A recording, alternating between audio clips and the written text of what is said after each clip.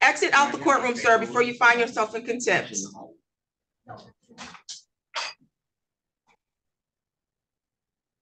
Yeah, it's going to be one of those. This judge is so patient and tries to help so much, and he just can't control himself. But first, I would like to take a moment and thank Big Tiff Dog for sending me down this never ending rabbit hole. I have watched this several times, and it was much more entertaining when I knew a little bit more about the pro se plaintiff in this matter. It seems he's kind of a professional victim, maybe? Maybe just lifelong, maybe not professional, because doesn't seem like he really gets paid for it. Nothing is ever his fault. The whole world's out to get him. Even the utility company has a conspiracy against him. He shows proof on his public Facebook page as he tells everyone how much he's being extorted for, but he never seems to show the part about how much he owes, which would kind of, you know, explain everything. He also likes to use GoFundMe. He tried to use GoFundMe in order to get paid for this case we're about to hear. And that was before the lawsuit even was filed. This case was amusing enough on its face with just what was going on, but understanding exactly what happened and how it happened kind of added another layer to it. So I am going to read you Mr. Pryor's whole explanation from his GoFundMe. If you want to skip this, I'll put chapters in the description so you can jump ahead and get right to the court. He says, Oh, and I just want to add, um, I'm going to note where the punctuation is just because there is none. Hello, I'm Anthony, and I recently had a roof replaced from a contractor. It was a complete tear off and new sheeting and shingles to be installed. Well, my deal with the contractor was to buy all the materials needed and pay him $6,500 labor. So after $7,308.40 in materials and paying the contractor payments of thousands and thousands for months before getting him to finally show up, I think that's how that works. You usually have to pay a good part of it in advance, but maybe that's just a Florida thing. I started to pay him in May and he came in November. And then his crew was on the job for less than three hours the first day, and I caught them stealing shingles off my pile of brand new shingles. Dot, dot, dot, dot. Is it an ellipses if it has four dots? And is it an ellipses if it's in writing and not like something you click on? I really need to Google that because I'm really not sure. And I like dots. We know that. And covering them with my brand new plywood, then throwing old tear off materials over that to cover and conceal them. Well, too bad. I am really good with math, just not grammar, apparently. And I was home when the de- delivered the shingles 40 bundles up top and 43 down on drive on pallet. I apologize, I'm trying my best. Well, when I got back home after leaving for a couple of hours, my OCD noticed the stack of shingles was different next to the driveway. Dot, dot, dot, dot. Not how OCD works, by the way, FYI, if anybody wanted to know. So I walk up and around the truck. I, period, we have a period, that's punctuation, but there's an I there, and I don't know what that goes to. The driveway, and there was a man behind it throwing old shingles in the back of the pickup. But wait, I have a trash trailer right there. Why would you fill your truck? As I was asking this, I seen my plywood in the bed, so I grabbed it. This is really freaking hard to read. OMG, you guys. Although there was debris on top of it, and as I lifted it up, I found six bundles of brand new shingles under my brand new plywood covered in trash tear off debris. Dot, dot, dot, dot, space, dot, dot, dot, space, dot, dot. Yeah. I then confronted them and was very, very angry and made them unload everything right back out space dot dot dot space dot dot. Well, I called the man I hired and explained to him and assured he assured me he would handle it. Space dot dot dot dot. Well, after 3 long days of babysitting and realizing that they were trying to call complete wasn't beside the trash cleanup that was at best that of an adolescent teen, I found nails all over everywhere, I caught them trying to rush through and not replace the plywood on the garage. And then when they did the garage, they did a botched job just cutting full sheets of plywood for no reason and acting as though they weren't licensed or trained. So after it's usually only the contractor that's licensed. Is that like a thing in Michigan? Like laborers have to get licensed? I don't think it is. So after they finally came six months after I paid the initial labor payment and gave money and month of excuses about being backed up on other jobs, I got what I thought was a new roof. So I went in the attic to insulate it and find more problems. See cover picture. The framing nails supposed to be holding my new plywood sheeting to the framing the truss. Well, they are just shot through anywhere. Most you can wiggle and pull straight through. So not securing the sheeting at all, hardly other than mostly gravity. And also, when pulling down the retractable stairs, I was avalanched by debris in what used to be almost immaculate, not one nail protruding out, not one piece of trash or debris. I'm assuming he's talking about his attic, and I don't know anybody's attic who can be called immaculate unless it's finished.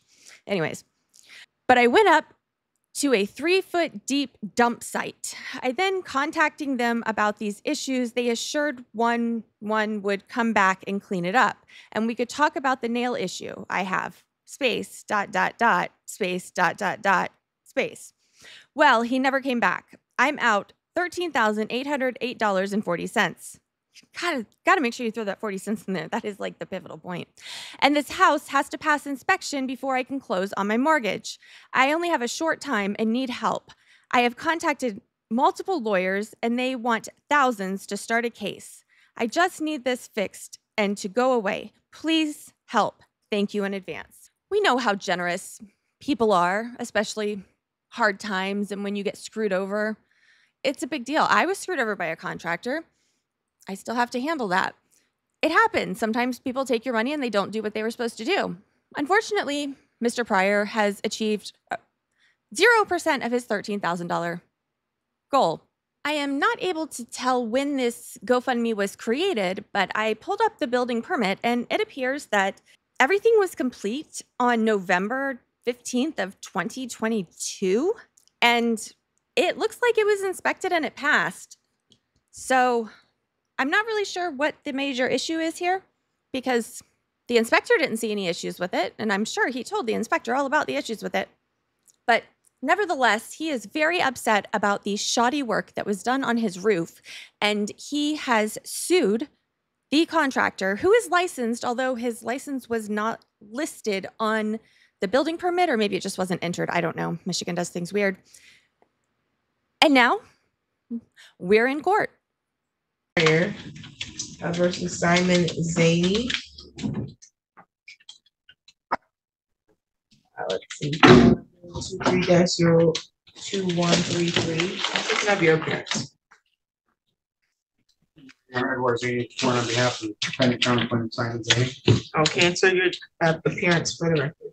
Anthony Pryor. Okay, today's the date and time set for a, a bench trial. Uh, Are we ready to proceed on this matter? Right from defense perspective, yes. You ready to proceed, sir? Yes, ma'am. Okay. Uh, Are you calling witnesses today or are you giving testimony for yourself? Testimony from myself. Okay, raise your right hand. Do you solemnly swear or affirm the testimony you're going to give is the truth and the whole truth under penalty of perjury? Yes. Thank you. You can proceed to give your testimony about your claim. Uh, I go first. Yes, you're, it's, you're the Okay. plaintiff, so you- it's your burden. All right. Um, well, back in twenty twenty-two, in the beginning of the year, I began to plan to put a new roof on my home that I had just purchased at the end of twenty twenty-one. And um, was looking around, called a few people, uh, got some people to come out, give me some estimates. And I ended up going into a local party store close by my home and it was owned by the defendant and he had mentioned to me that he could do the roof for me, so I, because of my long-standing knowledge of who these people were and understanding that they've been in business for a lot of years, um, I don't know whether the construction part has been in business or auto sales or whatever. I just, Action relevant, Your Honor. I have, I have history, I have There was- history with, So let me give you a, a instruction. If there's an objection, you'll stop so that I can address the objection, okay? Relevance as to, The nature and scope of the history of his knowledge of the relationship. okay, um. I'm gonna overrule it and let him give his spiel. that's what gave me the trust behind knowing that I would probably be okay using them is the trust behind the, the than knowing who they were, but. Um, I went ahead and told him, come over, give me an estimate. We came to an agreement that it'd be sixty-five hundred dollars labor. If I went and bought all the materials. And so I had started buying materials. Um, one of my first receipts was actually in, I believe, May, um, and then August. And then again in November. I, I just was buying materials throughout the time of us connecting. Um, originally, he said it'd be a few weeks out, and this was in May, uh, when I had made my first original payment to him. Um, which I have the documentation for all the payments that were sent to the defendant for the, the labor. Um, the first time I made a payment, he had said it'd be a couple weeks before I could get over onto my job. And then a couple weeks go by and I had gotten some communications between him and I, and he says, well, I've got a couple other projects. It'll be probably next month.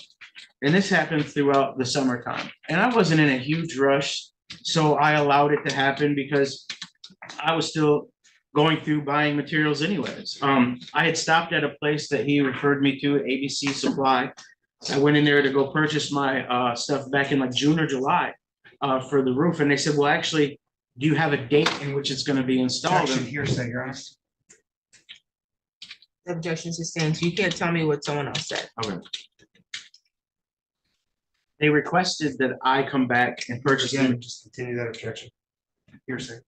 You, you changing it to requested and asked, it's semantics is still the same thing. You're trying to tell me what someone else said that's not present in court.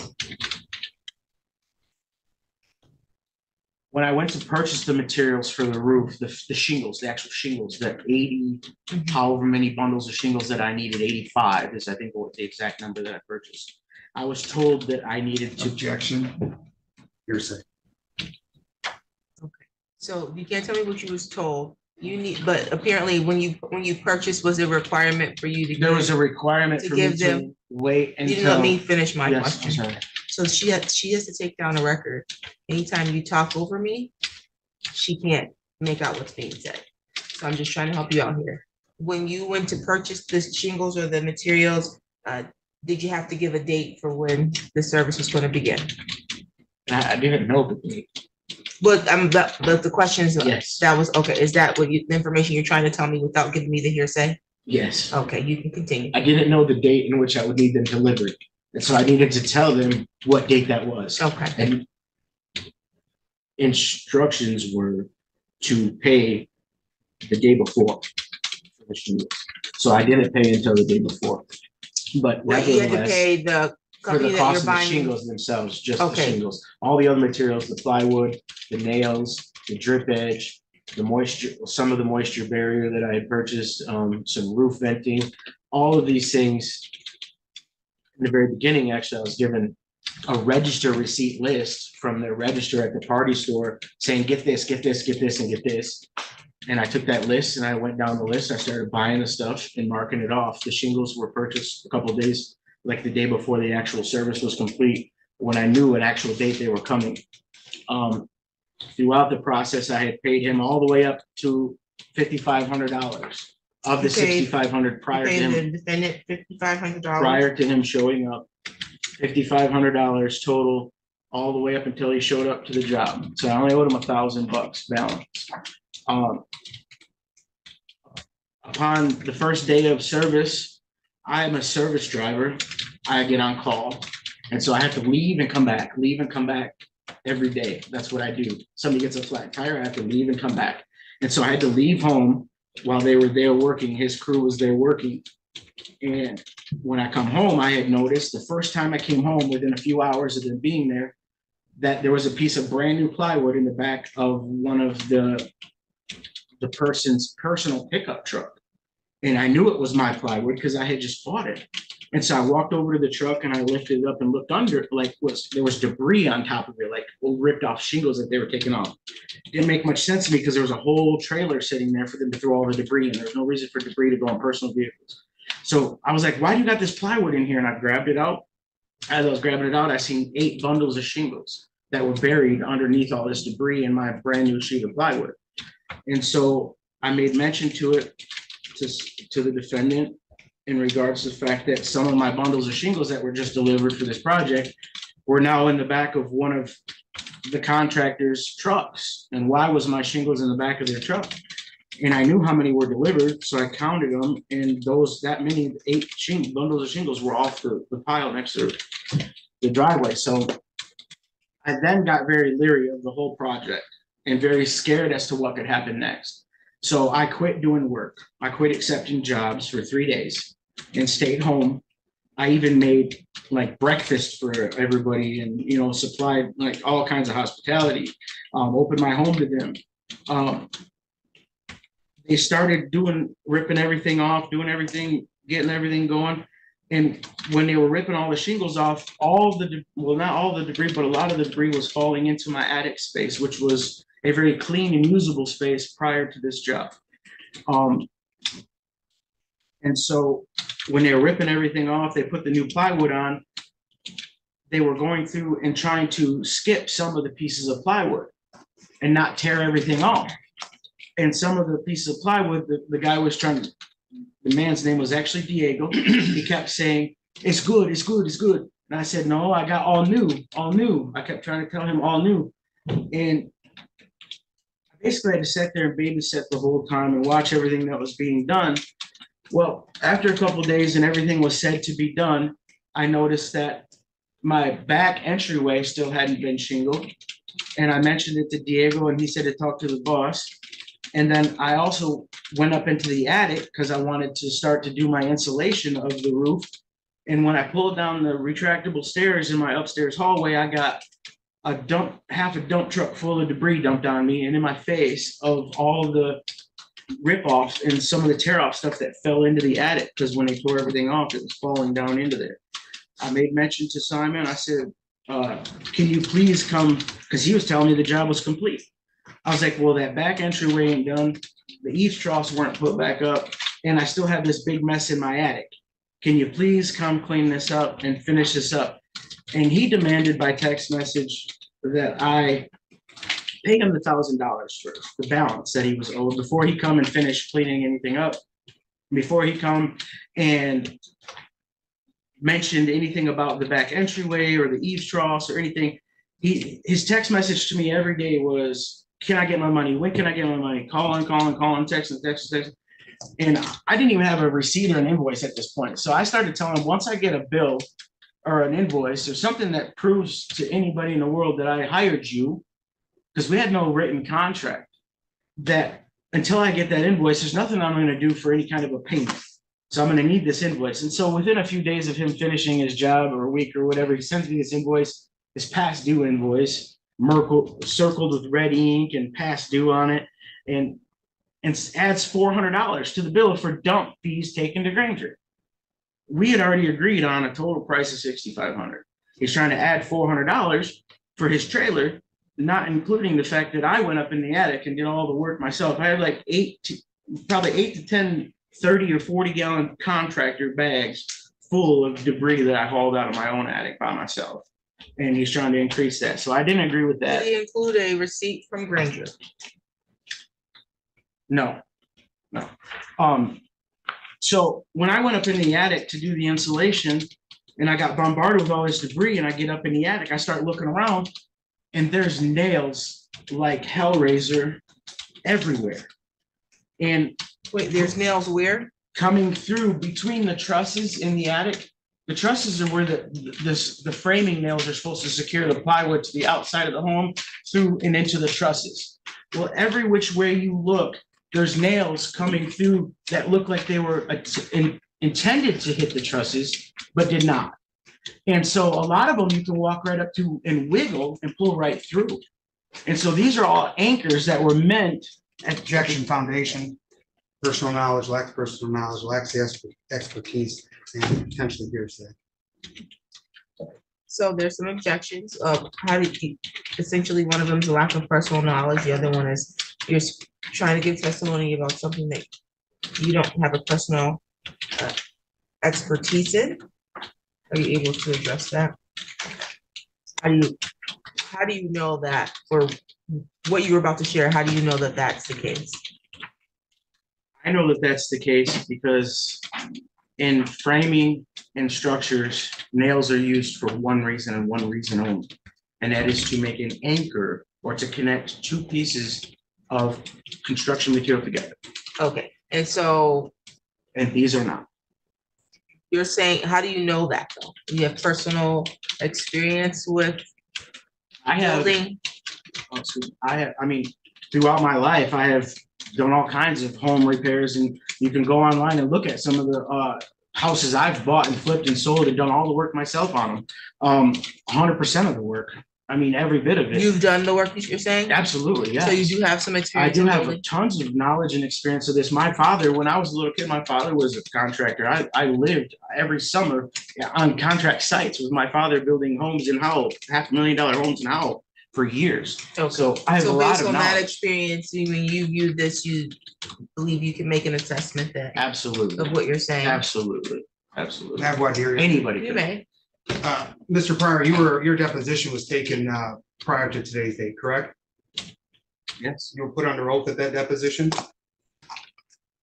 I was put under oath or I was asked to, You Raised your right hand and swore to tell the truth. It's Yeah, very clear. yeah, You you recall being placed under oath in that deposition? Yeah. All right, and you testified to, in that deposition truthfully, correct?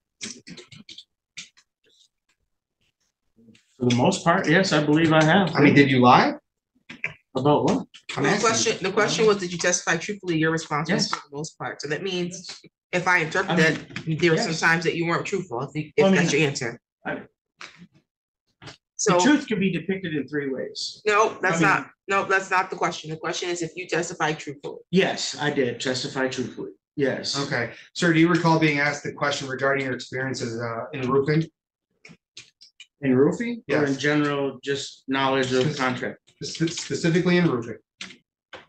I'm not a contract roofer. No, I'm not. Okay. My question was, do you recall being asked about that? I don't, Okay, honestly. It was three hours of, okay, so if I ask you, I'll bring it to this way, and if we need to change up, I can. I asked you if you're a licensed builder, and I asked you, I said, you're not a licensed builder, correct? And you said, correct. That's true, right? You're not a licensed builder? And you- I asked you if you ever worked in the roofing industry. I have not ever worked. in roofing. And again, that was your testimony. You never worked in the I didn't roofing lie. industry. Okay, All right, Thank you. sir. Did you ever work in the roofing industry? I have never worked in the roofing industry. No, I have not. And isn't it your testimony that, well, how about this? Didn't you testify at prelim- at your deposition that your knowledge of any issues or defects involving your case stems from someone telling you there's defects or issues with your roof? What solidifies my knowledge? I'm asking, you, did you testify that way in your deposition? That you were relying on what someone told you to establish the issues you're claiming in your lawsuit? You asked me, how did I know for a fact that it was valid, that I was making a valid point, and I said I had a contractor come out and give me an estimate, and he Great. said the same thing, yes. All right, so what I asked you in in your deposition, so I'm clear. Yeah. It's, and I, to summarize, I write, I asked you, so it is your position, and this is based on what your roof guy told you, correct? You said correct. So your position was based on what the roof guy told you. Correct? Correct. All right, so that's what your testimony is driven from. Therefore, Your Honor, I'd say he lacks that ability to testify to any issues or claims and defect, or any aspect of the ability to articulate the purpose or the code or the requirements set forth by the Michigan Residential Building Code for this specific issue. He simply lacks that capability to testify to the issue. He's relying, and just for the record, he's relying on hearsay. I think that was his testimony, quite frankly and he lacks that personal knowledge. A mere skill set or, or mere experience with others doing their work is not uh, appropriate basis to justify the testimony. Okay, and so you just, I guess you must have had a deposition where you say you didn't have any personal experience or knowledge as it relates to being a, He had asked me if I'd ever worked in that field. No, I have never worked in that field professionally. I've never been contractor, a licensed contractor. No, I have not. That was one of, his question was specifically about whether I've ever worked professionally in that field. And no, oh, Okay, I've been around job sites and I've been in the, in the area of jobs because of my, my history and my family. so without, without invoking the hearsay, meaning whoever it was that- that you came to have give you a quote after the work was done, your review of the work based on your own knowledge rendered what opinion? I'm sorry, I missed that last second. your review of the uh-huh. workmanship that was done before you brought someone else in to give you a secondary quote, gave you what opinion? The opinion of the contractor that came in was that it needed to be completely, No, your, Objection. your own personal opinion is what I'm asking about. Before you spoke to another contractor, when you saw the work that was done, what did you think? that it was a complete miss and disaster. And why did you think that? I have pictures to show you. why. Because of what you saw? Yes. Okay, and because of, I mean, I know the purpose of a nail. And the, the framing nails are longer than roofing nails. Roofing nails are short. Framing nails are long, so they anchor solidly into the wood. okay. How do you know that? From prior experience? From just a general definition of a nail or an anchor. I mean, and, I mean, my personal prior experience with building anything. would Okay, be so what you're trying to show me is pictures of what you saw when the work was first done? Prior, before, and then after, yes. My house had. When you three say roofs. prior before, what do you mean? Yeah, my house had three roofs on it.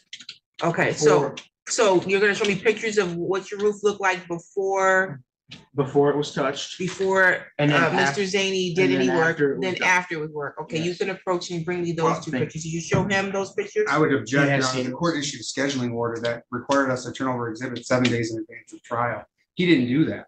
Uh, so the reality is I turned over my exhibits and what he's doing and presenting to the court today is outside the court scheduling order. I've objected. Did you ever turn over your exhibits to the defense? Yes, When? At his deposition, I gave him every bit of everything. He took everything from my files and copied everything. My folder, front, back, and side, everything. Took every bit of all my notes and everything. And that included all of Yes, these ma'am. Yes, ma'am. pictures? Yes, So you ma'am. have the pictures? Your Honor, I, I've reviewed pictures. I don't know if those are exactly the pictures I Show- reviewed, but I would tell the court he did not turn over what he proposed to advise as exhibits. Okay, but if he cho- gave them to you at the deposition, then he did turn them over. These, these have been received, I think, in his complaints hearing. Uh, must be not something anyways. Okay, back on the record. Okay, so these were pictures that were included in the complaint. Yes. Okay. You just want to see the ones we're talking about right now? I want to see the one from before the work was done by Mr. Zany and then what you said you saw after. Okay. Your Honor, there's a stack of photos he has, and he only showed me two pieces. Show him all of the photos that you want to show me. I'm me. gonna show you the two that, yeah, just show him the first two. She's not gonna even get those unless she wants. This is the first before, and then this is what I seen when I went in after. Okay, so uh, this is, the no, right. you can back up, sir. to the You're way right. too I'm close. sorry, I'm sorry. Typically, my court No, I officer would do this, but I don't have one I'm today. sorry. Okay, so this is the, That's your roof before you had any work done? To the right, yeah, to the left is the garage after, yeah, but this is the Okay, inside the house. This is house, the roof before any work was done. inside the done, house, yes, inside the house? yes, And this is what? the garage after he did it. Okay, and then what is this? Is That it- is Do I have inside this the right attic. way or? is Yeah, it- no, that was the right way, that's inside the attic after he was done. Your Honor, can I have what, dear? These are the same rooms? Yep, those are the same, rooms. that's Okay. the same room too, You yeah. can, I may, yeah, you can right there. You can have, go back to your, to your, may I approach that Yes. Mr. Pryor, you just handed the court an exhibit indicating this was pictures after the work was done, this one. In particular this photo, correct? The top one was the garage after complete, yes. After, after shingles were on the roof? No, So it no. wasn't after the job was complete, no, no, correct? after he was done putting the plywood on there. All right, so for clarity's sake, Well, that's new plywood, so yeah, he's been, he's touched that, already. yes. great. So my question, for clarity's sake, this is not after the job is complete, correct? The top one is after the plywood's been installed in the garage. Correct. No, no intent to trick anybody. Your Honor, I'm pointing to the top portion of that photo. That was during the course in which the job was occurring, correct? In the garage, yeah, In the garage. yeah, So let's be clear, in the garage, right? Mm-hmm. Yes, yes, during the course of the work being performed, correct? the top one, yes. Great, and that's all, hey, we'll fold it. How about that? And there's no trickery here. Yeah, right. Your Honor, If I may just speak from the well.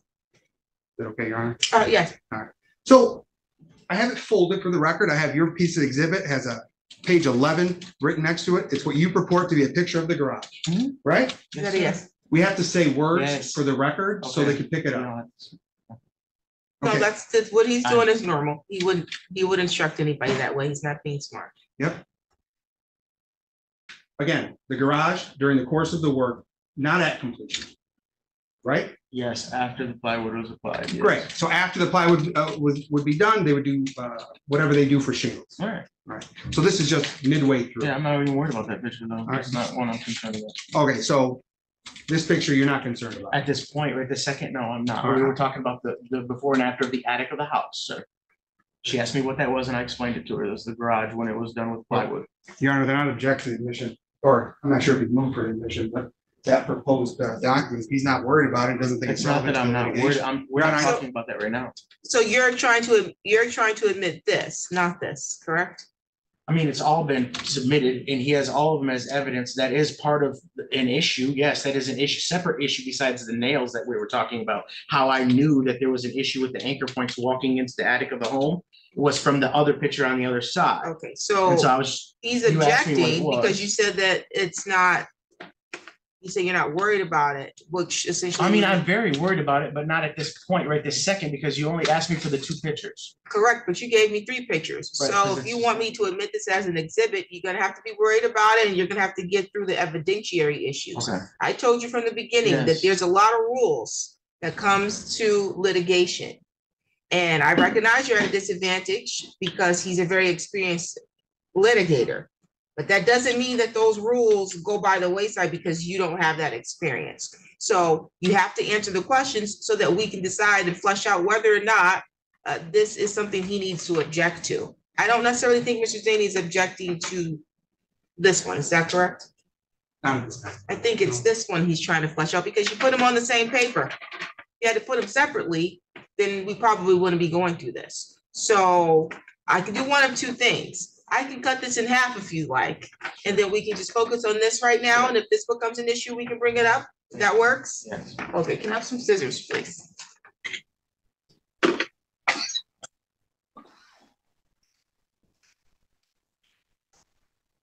So, Mr. Pryor, let me give you this one back, and then if you want to address, when you get ready to address this issue, then you can move to- or present that. So right now, we're talking about, this is the before, I don't know if I got this right. Okay, this is the before Yes, of the Attic. attic, same, same place. This is the after, correct? Yes. Okay. Um, continue your testimony as to, and so you're saying these, that, when you saw this, this struck you as some, there's something wrong? Because you think it should look like this, Absolutely. And so you're moving to admit these as plaintiff's exhibit, um, I would say one and two. Correct? Sure. Are you objecting? Oh, God. Okay, so these will be admitted as one and two.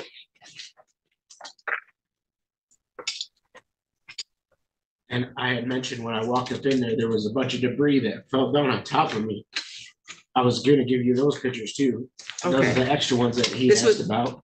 Those, so you showed him the, the pictures of the Yeah, he's- debris, He's seen them, yes. and this was debris that, um, you said hit you after the work was done? Yes. Okay, Yeah. Check because they have a bunch of handwriting all over the, the pictures. They're not, You need to- they're not appropriate exhibits to be submitted to the course of the trial. Notes on- what it, it's, It's it's, just my notes, just explaining what it is. Okay, Each one of them just explains what I see. that, I'm not going to grant that objection based on his notes. Um, these, this is, uh, other than the, the notes, you have an issue with that, the court can disregard his notes. Ask anybody at appropriate foundation. Okay. um, What is, what is this, sir? That's the debris that was in the attic after I went up there that I had to clean up, that wasn't cleaned up. So what you're saying is after the, um, Mr. Zaney completed the roofing project, this was the condition of the attic? Correct. Okay, and so how long after the project was done did you take this picture? A few days.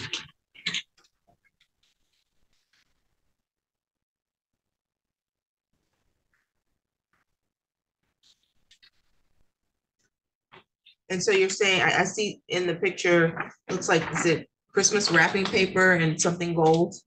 That There was, was a a- gold basket and some wrap paper over in a corner. I just threw it out there in the middle Okay. just to throw it out with the stuff when I cleaned it out. but your, your testimony is that prior to this roofing project, none of this stuff was. None of the roofing debris was up there. There, I mean, there was some miscellaneous stuff from when I bought the house from the last owner. Okay, A Couple few things, but nothing Okay. Major if you look at the original other Okay. picture. your objection is, uh, as to this exhibit is overruled, We'll admit this as plaintiff's exhibit three. And then what, what is this? That's the stairs that I had to pull, the one to the right is the stairs that I had to pull down to get up into the attic. And when, that's when the stuff was falling. I was just Okay. showing that it came down when I pulled the stairs down. That other one is, is a copy of the other picture that you just cut off. Okay, so we could remove that. Now, correct? And then. What is this? Again, just when I pulled the stairs down, all the stuff that came tumbling down in my face. Okay, so it's just another angle of this. Yes, yes. Floor and everything that came out.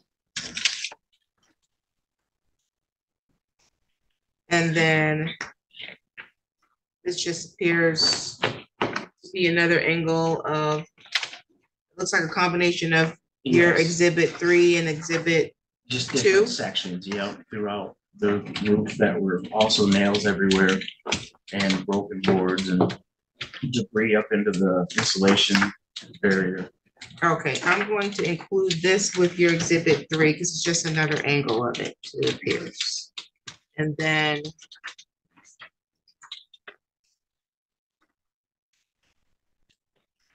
be admitted as part of your exhibit three as well, which is to show the debris.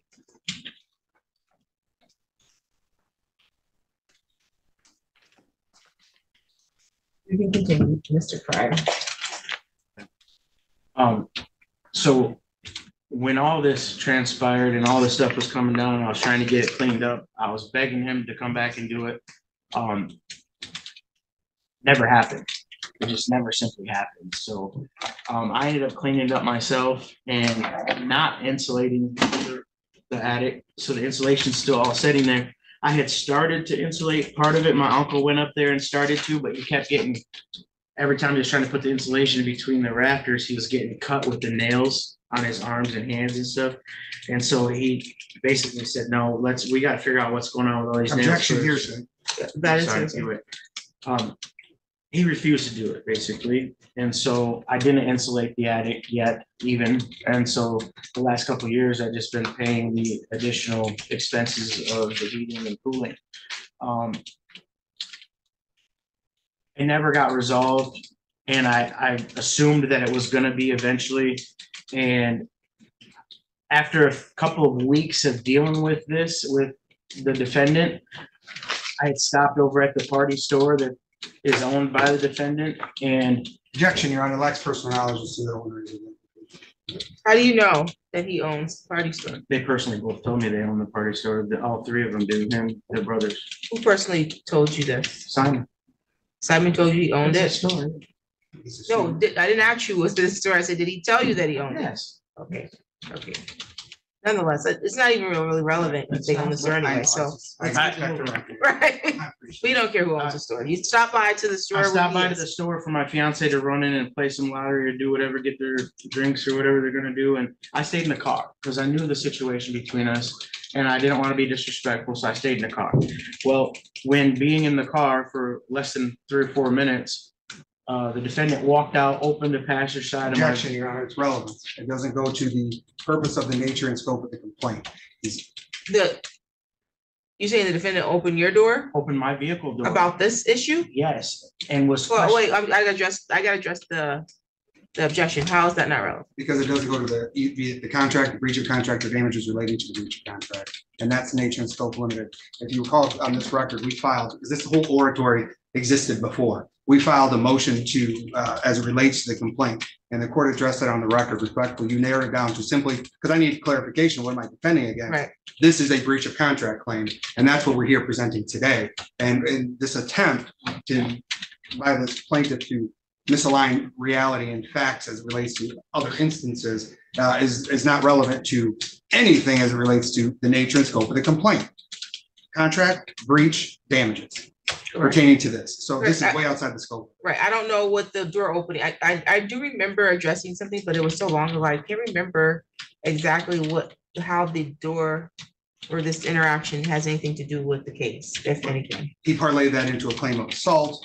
Oh, Okay, Both yeah, sides claim I don't, I said we don't, we're not dealing with assault in general civil. Correct. So if that's what you want to share, no, that's a criminal matter that you have to share. No, no, no, time. I just was making mention of the, what happened, what caused me to come in here to try to do something about this, because Well, that, I this, knew that, well, this is what caused you, I would Right, hope. well, So all yeah. the other, yeah, you the can. final straw to not it. allow any rectification in my home, because Okay, there was mention, there, I mean, you want to talk about trying to realign facts and to redirect, uh, the whole case into. Again, yeah, but do you have any more evidence that supports um your breach of contract though? Like receipts, any more photos that you wanted? Um, it looks like you might have some text messages there. I don't know what those are, but This is, uh. whatever evidence that you are purporting to uh present to the court to support this claim of breach of contract, make sure you show Mr. Zaney, uh, Mr. Edward Zaney, and then um you can proceed to try to present, I don't know, I hope all of that's not evidence. No, no, no, no, no, no, no, Um, no, no, no, no. I'm just, the only thing that I have is the estimate from the other contractor. Um. I got it back. Um, and then my payments to Simon and all my receipts from everything that I paid for. Oh, yeah, here's the other contractor. Um, Oh, I thought you said there was some bills for that you received for dump fees or. no, no, on his invoice, he. An he invoice, added I- that should 400 be, yeah, yeah, I I'm got gonna that. need the invoice. I got it. Um, I'm gonna object and the and we can take invoice. it piece by piece, Oh, yeah, we gotta do it. You're object to the invoice. which is, I'm asking for the invoice that he said Mr. Zaney gave him. Joe, you have to show him. I'm I'm not gonna, I'm not gonna object to that. No, uh, my Okay. objection is gonna be to the third party, the other uh document. The contractor, you need the contractor here. If you wanna present his statements. Well, of course, assuming he's a contractor. Well, yeah, I'm just taking his word for it. Yes. So I don't know who he is. Respectfully, I I don't mean to be disrespectful. Yeah, I don't know who he is, but if you got an estimate, you can't just present, so there's a rule called hearsay. It's, it's an overwhelming rule. It's overwhelming for attorneys. It's overwhelming from judges. So you can't present an out of court statement um, to prove something. So that would be an out of court statement, that estimate. If you want that to come in, you need the person who made that estimate to be right here under oath in order to get it in here. Um. As it relates to the estimate. Um. This is a past due, okay, this is a, a total invoice that you're submitting here, says to Anthony Pryor. Shows the total amount, dump fees taken to Granger.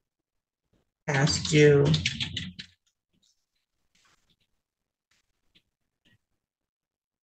And you're not objecting, so this will be plaintiff's exhibit, where we at four? Yes, I believe we're at four, yeah. I think you Yeah. joined one. I did. Okay, and so.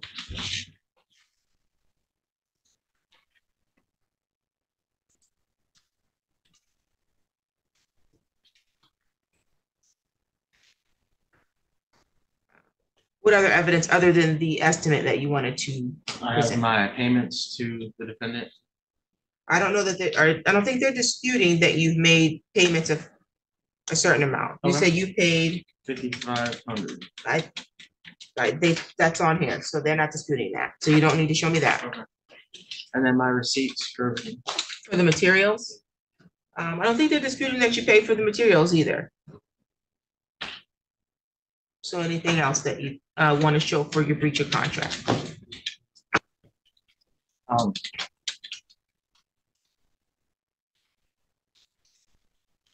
No, just that he never finished the contract, he never finished the bill. Okay, so you're saying he never came back to remove the, or to complete the back entryway? Um, he never removed the debris, the eaves troughs never were put back up? Correct. And then you believe that the workmanship, uh, fell below the standard? Absolutely. Okay. Oh, and I want to say one more thing, um, to, about the craftsmanship and meeting the standards, um. I'll make one reference point on the weight of these construction materials. Whether they had any anchors or not, is extremely heavy. Objection, Your Honor, and as far as any basis to make this testimony. presented in the report, He, he's not laying the appropriate foundation for the testimony which he reports us in the report. I think his experience is extremely limited in any aspect of roofing. Uh, if there's any, My experience is limited in roofing, so even when giving testimony, you gotta explain what you're talking about, because when you just start talking about anchors. It's like white noise for me, I don't have no clue what you're talking about.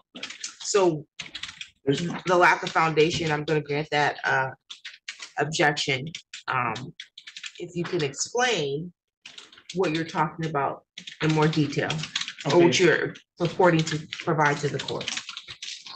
I'm sure he's gonna address it in his portion of his defense and. Uh, there was a. There was a man that was hired to come into my home and create a video. And uh, that video, I was, I actually requested for. Hired by whom? Um, hired by the defendants Oh, so to come in and do a video prior to the work or after? the work? after the work, before this case, as a part of the defense. Oh, And there was a mention in there, there's two mentions in there, and I just want to make mention of those uh, and, and put my part out there right now. Because mentions in what? in the statement from the person that came and did the video of my roof inside my home, not relevant, Your Honor, it's not, it's not in the evidence. Yeah, uh, I'm not sure what you're talking about. oh, So if they Well, I- present, so, so you get your chance to present your case now. If they pres- bring that into evidence, you get a chance to rebut okay. later. So that's not in evidence now. I have no clue what you're Okay. talking about, to be honest. Thank you. Okay. Uh, anything else you want to provide before he, he gets to question you? Just want to make mention of the, the escapades in the charades, in the disastrous amount of time wasted from the defense on a whole bunch of stuff that would never be done from any other attorney in a case like this. Or we're, we're talking about the attorney or the, talking about the contract? The defense case, period. But We'll see Okay. as we. go. Objection sustained. Go. Thank you. Uh, Any, you can cross examine. Your Honor, would you entertain a motion for direct verdict this time before I proceed with the, uh, I think there's a question of facts. You can continue. provided the court a notice uh, indicating uh, a balance due. And that was entered in the exhibit. Do you recall that? Or exhibit four? Yes, Okay, you would agree that that out properly identifies the nature and scope of the contract? Between you and Simon Zaney? no, That was the- exactly the document you received prior to work beginning, correct? no, You received an estimate prior to the work beginning? no, You Never received anything? Are no, you sure? positive. Didn't you testify your de- deposition that you had in fact uh, received and reviewed that prior to the start of the work? No, he physically told me how much he was gonna charge me. That was the scope of our contract. Would you agree that the scope of your contract included that you provide for materials? Yes, he asked me to buy my own material. Forget asking. You agreed you would provide materials, Yeah. correct? Yes, And he would provide labor only, correct? Yeah. So to the s- extent he had to do any labor, he would do that and you would provide everything else. Agreed? yes, Was there any indication in this, uh, at least as it pertains to your exhibit, or that he would, or his people would install any eaves troughs? May remove them. I'm asking you, was there any nature or discussion in this document, exhibit four, that relates to that? Exhibit four doesn't relate to anything in regards to that because it wasn't before the, the contract was done. We discussed everything that was gonna be done at the time when we made the agreement for the price. You would agree you never discussed actual eaves troughs, We correct? did, we we did. Where did you actually. say that in any of your complaint? Where did I say that? I mean, Yeah. it's like one of the least, So you don't care about it? it's not, no, it's not that I don't care about it, it just wasn't what my main concern was. It's just part of the issue is that there's one more thing that he didn't do. Okay, uh, as far as uh, a dumpster, did you provide a dumpster? No, Simon brought his trailer. Well, you, s- you would agree that'd be something under the scope of your agreement, because he was just doing labor, that you would provide a dumpster. No, he said that he would bring his trailer and get rid of everything within the price of sixty-five hundred. What documentation do you have to prove that? A verbal agreement? Do you have anything in writing to establish that? I mean, your contract right there in front of you says that I would pay him sixty-five hundred labor for him to do the whole job. Okay, If so you you would remove agree that parts- this is the contract? I mean, that was the. That's my proof that we had any kind of a contract. Would you yes. agree this is the contract between you and Simon Zaney? No. Is this the same thing that you're talking about? Correct, Yes. Your Honor, it's uh, his exhibit. During the course of your pleadings, did you supply this document to the court? Yes, Did you cross out the past due or uh, the word past, like edit it and white it out in your pleadings? No. Uh, as a result of receiving this document, uh, did you threaten Mr. Zaney? No. As a result of collection activities, did you ever threaten Simon Zaney? There's been no collection activities whatsoever. Okay. You'd agree you did in fact receive a copy of an invoice indicating past due amount? With the- the, that was, I begged for it. I You agree- begged you- for you it. That proved- That's not my yes. question, sir. Yes, Focus yes. on the question, it's gonna go a Yeah. lot smoother. Yeah, You would agree you received a copy of your exhibit four from Simon Zane. yes. You agree the Accurate. copy in which you received indicated it said past due amount? Which I had a problem with. Okay. yes. I'm asking, did you receive it? Yes, I did, All right, absolutely. is that uh, the amount that you would agree that Simon Zaney invoiced you was one thousand three ninety-seven sixty? That is the amount he invoiced me. During the course of your action, uh, in response to uh, Simon Zaney's counter complaint, have you uh, provided a counter affidavit? In regards to his counter complaint, have I provided a counter affidavit Correct. for what? I'm asking if you ever provided one, sir. Don't know the purpose. Did- So you'd say to say you never. So yes, a yes or no then? No. I don't. You'd agree you didn't buy the materials in this case until, at, at least, how about this? I'll reword that, so it's a fair question. You were invoiced from ABC Supply Company on or about November fourth, two thousand twenty-two for the items you We've already purchased addressed from that. ABC, correct? Objection, we've already addressed that. That's not. an appropriate- Objection, did he asked you that and you answered? We've already answered that earlier. I, I. No, he didn't that. question you about it, so you, you have to answer the question. Now, if he asks you about, about it the second time, then you can object and Okay. say, ask and answer. Yes, I purchased some of the materials on November fourth from ABC. And namely, you purchased from ABC uh, landmark colonial slate shingles, correct? Correct. And then uh, CT Shadow H and R COL slate. Yeah, it's the same shingle, it's just a cap for the ridge.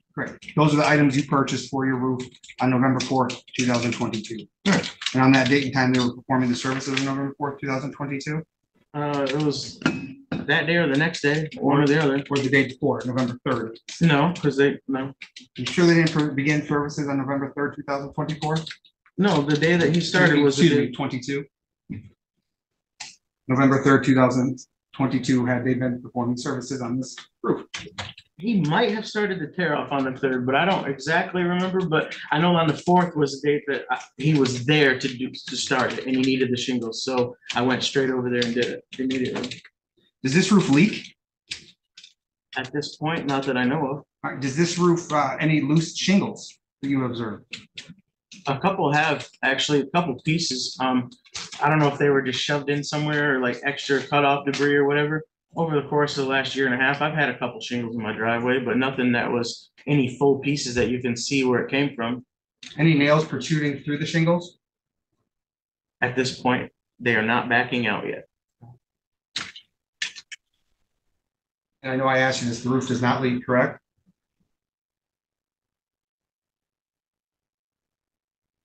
Not that I know of at this point. There's no OSB or the plywood coming off of the roof, correct? Coming off of the roof? Correct. Not at this point that I know of.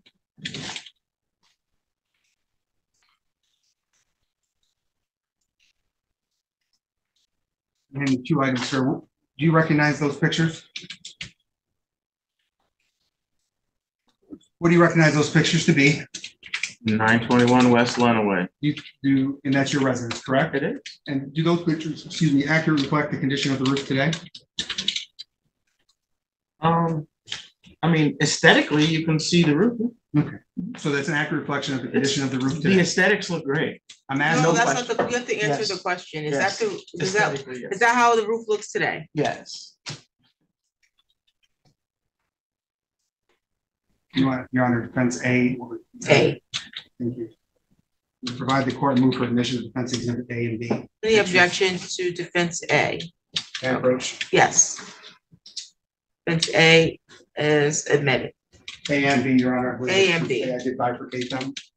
Okay, sounds You, good. you can- if you like to change it, I have no problem. No, you- that's fine. There's different angles of the roof, correct? I asked you whether or not there's any nails protruding through the shingles, Yes, you did. and there's no, none, correct? Already answered. Answer it again, please. Not that I know of at this point.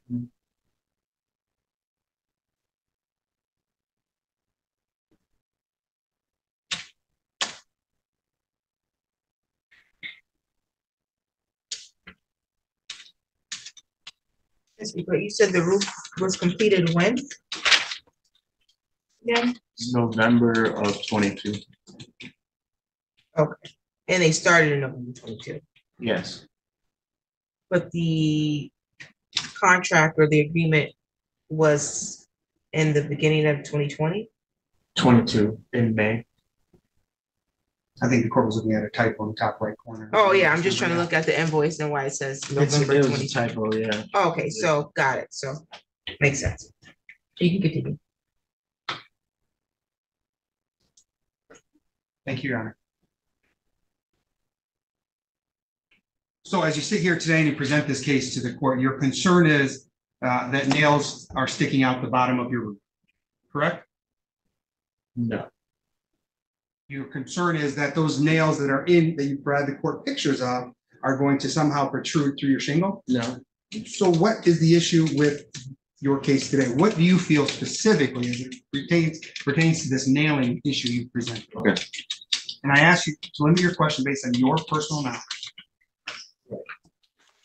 And it is my personal knowledge and experience and understanding as an adult, as any other human. Whoa, whoa, whoa, everybody's gonna calm down because I have no, ex- I'm an No, I- adult, I know. I'm but I don't know saying- anything about roofs. Okay, So you can do If- your personal if knowledge. you, if you take a nail and you use it as an anchor to hold two pieces of wood together, that it should go into both pieces.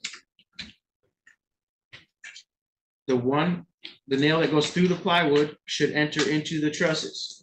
That's when they're framing a home. Objection, foundation lacks knowledge. Okay, um. These are the nails, correct? Yep. What are you saying? What are the trusses? What is that? The that? trusses are the cross, see in the other picture to your right? Yeah, Yeah, those long boards that go straight up and down the picture. these ones? Those are trusses. Yep, those are what hold the frame of your home. The- So you're saying that, so what your personal knowledge or belief is that the nails are supposed to go through that? You're supposed to, yes, they anchor the plywood on the outside to the, to those, yes. Okay, Yes. I object to that form of foundation is responsible. the found, well, he was, an- Foundation. he's answering your question. He said he believes, you said on, based on his personal knowledge, he believes that as an adult. Fair enough.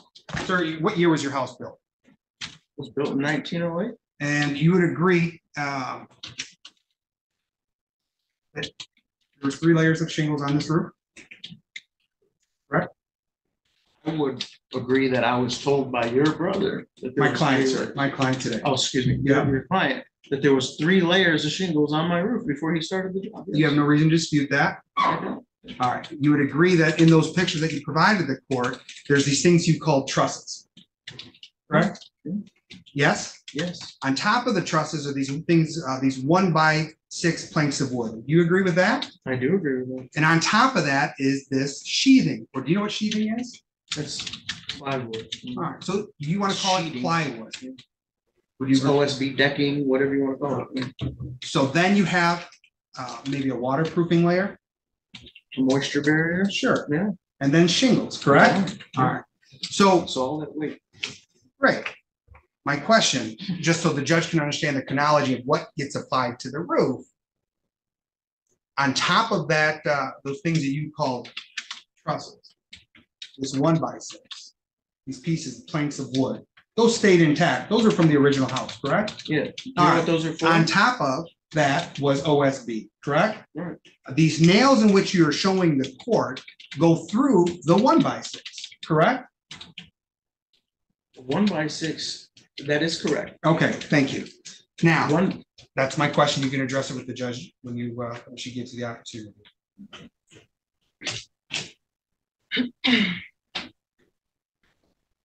You're aware, sir, that the city, that, uh, Simon Zaney pulled a permit with the city of Lansing to do this roof, correct? yes, And no reason to dispute that? not, it's- No, and you agree that the city of Lansing inspected and found about that permit, correct? Correct. All right, you agree that Simon Zaney's a licensed contractor? I have to, I guess, understand that he is, um, You, according to the document you showed me. no reason to dispute that he's a licensed contractor, correct? Correct. All right. What's the status of your ownership on this residence? in the middle of purchasing it. Just like everybody else, most, Do you the, do you have any ownership interest in this place? Absolutely.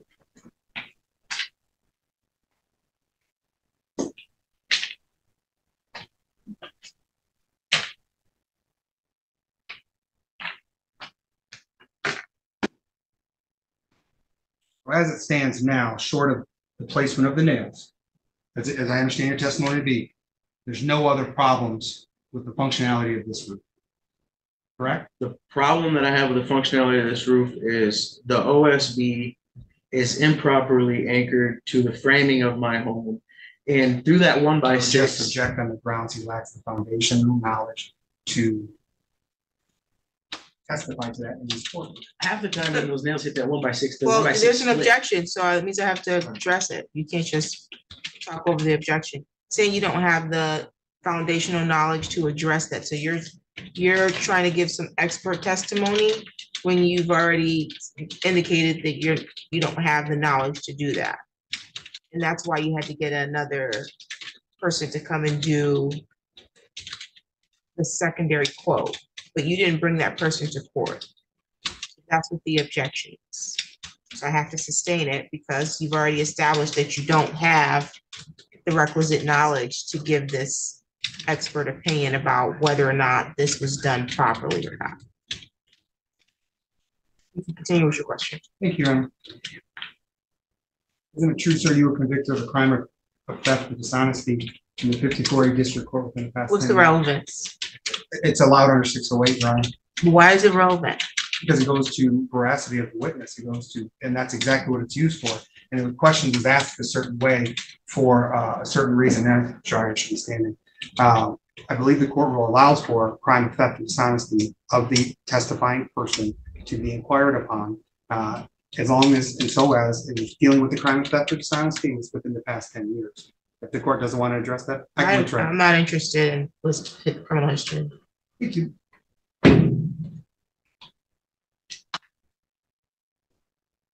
When you filed this complaint, what did you pay for a filing fee?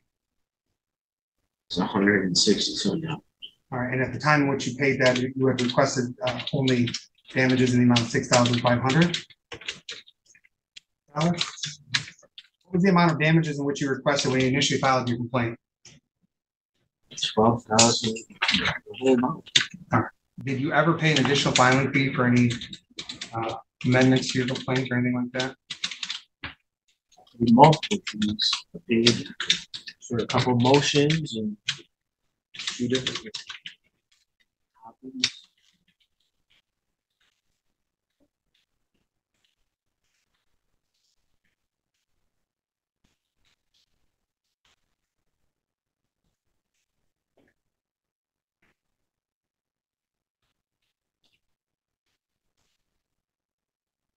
And I don't think I have any additional questions at this time. We'll reserve the right to call this witness for our case in chief on the counter complaint.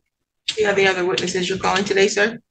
Okay, Uh, so your, your case is resting. You can proceed. Yeah, I'd like the motion to court formally on the record for a uh, motion for directed verdict, summary disposition essentially. Uh, If I could have that opportunity. You can proceed. Thank you. I'm going to provide a copy to the uh, plaintiff, if I may approach. Yes. I have a uh, bench memorandum, our defense trial uh, bench memorandum. Inevitably, uh, the plaintiff's case in chief is for a claim in the scope and nature of a breach of contract. The nature and scope of the breach of contract, the plaintiff has the obligation to prove, one, an actual contract exists, the terms of that contract, a nature and scope of the breach, breach of the contract, and essentially damages. And our position is that, I think it's rather clear, these parties had a contract, the contract was for labor only, uh, and which was expressed by the plaintiff. He was responsible for the balance of all materials. The nature and scope of the contract was to install a roof. The court has received documentation showing that the roof was installed, and there's been no dispute that the roof was installed. The dispute comes down to uh, a layperson's optical opinion as to the placement of nails without any supporting proof directly relating to the claim and scope of breach. There has been nothing established on this record relating to the nature and scope of an actual breach. More so palpable on the record and more so identifiable is extremely the, the extreme lack of information or extreme scope of information relating to any claim of damages. There's been absolutely zero testimony as it relates to the nature and scope of damages. There's been, there is a rather thorough uh, analysis of what the obligation is and who has the burden of proof to establish it uh, and nature and scope of any mitigation efforts. There was none. There was no testimony from this individual of his attempt to mitigate. In fact, quite the contrary. Anything he asserted uh, as it relates to uh, this case. uh, For instance, that photo that was retracted as an exhibit it was during the scope and course of the, the, the installation. There was nothing showing that that was afterwards. His testimony submitted to the court, excuse me. You get a chance to respond to what he said. Thank you. Um, He failed to mitigate his damages. Inevitably, there's no proofs on the record that he submitted that he did any effort uh, to mitigate the damages. Quite the, quite the legal obligation that he does so. Uh, The nature and scope of any damages here uh, have to correlate to uh, damages stemming from an actual breach. You don't have the breach on the record. You have a complaint as to craftsmanship, as as far as optics. Again, there's case law that relates directly to this within our brief. Uh, The any defects or omissions, minor in nature, to the extent the builder is considered as substantially performed on the contract, only re, the entitled to only recover contract price minus damages for the cost of correction. There's been no testimony as far as correction, but what needs to be corrected? And there's another case, a little bit more on point, that deals with the nature and scope of the appearance. And in one second, I'll have it articulated for the record, Your Honor. You gave him a copy? I did, I provided a copy. So you're gonna, we're gonna have to give him a turn, an opportunity to read this. He's not an attorney. No, that's fine.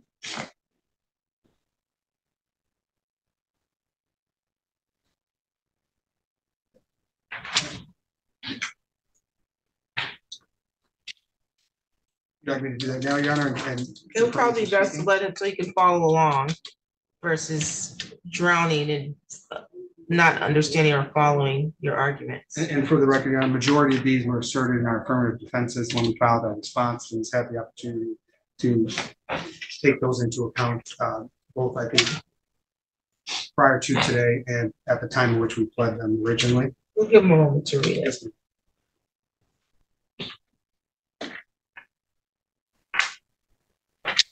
Can I say anything? When you finish arguing, you'll be, you'll have an opportunity to counter what he's saying, okay? Did you finish reading already? Um, oh, well, I I'm just get- finishing now, a- Yeah. and I'm not even, I'm just skimming through the last couple pages because. Well, you don't wanna skim of- no, through. I'm This just is saying, a, 'cause- this, do you know what this motion is that he's giving, giving you? Yes, it- he is trying to have, basically make case in point against me for other references to other cases and the outcomes in those cases that pertain to certain things that have to do with my case, like trying Yeah. to make comparisons. Well, that's what, that's what we do in, in courts. Yeah. So he's filed a motion, or he's filing a motion here uh, because you've completed your case. So after a plaintiff complete their case, if the other party doesn't believe that they met their burden, they can make a motion to the court to kick the case because you haven't met your minimum burden. That's what he's doing now. Okay. And he's giving you the legal uh basis that he believes it's appropriate for the court to kick it. That's what those other cases are for. That's how we operate in court. We use court rules, we use case law. And we use statute. So he's relying on these cases Mhm. as the basis as to why he believes you failed to do your due diligence in meeting the minimum burden, and because of that, the court should grant this motion that he's making now uh, to dismiss your claim before requiring them to present a defense. So that's why I'm giving you an opportunity to read it, but if you're not interested You in know, reading I, it, I, have read half of it. You just but, wanna I skim mean, it. it's- Yeah, it's, I'm- all- no, I mean, I'm giving you the time to do that now because I recognize you're not an attorney and I don't want you to be bombarded or overwhelmed. But if you're not gonna take that time No, no, no. meaningfully, the, the, I can guarantee you, I have um, millions of things I could be doing today because I've got all these things I need to review and sign. So if you don't wanna take the time, we don't have to, but it's up to you. man, it's not that I don't want to. Take the time. Okay, well then, I wanna see you reading it and not just throwing it off. You proceed, counsel. Thank you. Good morning, take Your Honor. Thank you. Um, As indicated here, the contract must be established, breach must be uh, established, and the burden of proof all falls with the person pursuing the claim.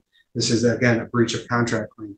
Uh, The damages as indicated are limited. There's been no proof on this record, I think, as to the relation, to the nature and scope of the breach or anything uh, as it pertains to a breach, specifically failure to perform or uh, performance uh, doesn't comply with contract requirements. Essentially, they're uh, trying to pursue an implied warranty for the nature and scope in which the construction occurred. Uh, However, I don't think they were properly identified, and if it were identified, it has to be clear that this individual is only limited to not optimum perfection, but conforming to the specifications. There's been no, again, no testimony that the specs in which this roof was installed don't conform to the Michigan residential code. In fact, the contrary is true. Licensed contractor pulled a permit, city inspected and approved the permit. Uh, in addition, and that's Oakwood Villa Apartments, Inc., the Gula nine Mich App 568, 1968. Breach of contract need not be precisely established. However, uncertainty as to the fact or amount of damages caused by the breach is fatal. Home Insurance Co. versus Commercial and Industrial Services, Security Services, Inc., fifty-seven Mich App 143. 1974. Damages cannot be conjectural, speculative in nature, or dependent upon the chance of business or other contingencies essentially the pleadings in this case leverage that the concern was for the placement of these nails and that the concern uh, of this individual, and I think on the record today, that these nails could somehow cause damage in the future. It's all conjectural. Again, the breach and nature and scope of the breach, conjectural. It's not essentially affirmative on the record as it relates to that obligation. In addition, Your Honor, they're not, they're, the plaintiff is not, uh, as a proper measure of damages afforded uh, anything more than, uh, again, the optimum, optimum perfection is not the standard. They have to establish a proven defect. A proven defect, the builder is only liable in making wood or the work as good as specified in the contract or compensating the owner for the cost to do so. Both of which we don't have. You have pictures before this court, I think, from the condition of the roof coupled with testimony as to the uh, functionality of the roof. Your Honor, the roof was installed properly. There's no uh, information, even looking at the facts in light most favorable to the non-moving party here, be it the plaintiff, he's failed to meet his burden on at least two or count uh, elements two and three, breach and damages. Therefore, the court's, I think, required to enter uh, a, a directed verdict in favor of the defendant in this aspect of the case.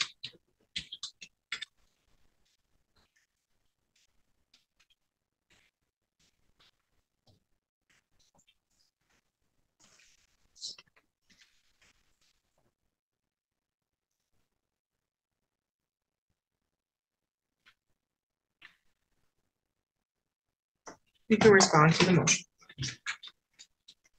Um, Your Honor, it's my position that as a homeowner and somebody that works very hard for everything that they've gotten, that I don't want to take anybody for nothing. I don't want to be taken from anybody for nothing. Your Honor, I objection, just- stop facts and elements or facts and uh, into evidence in order to appropriate portions. I just wanted- He's giving some argument, so I'm gonna give him a leeway. I just wanted my roof done properly and to the standards in which anybody else would expect. Um, I don't think that I have done, I know for a fact that I've proven that my case, that this is not accurately done hundred percent properly.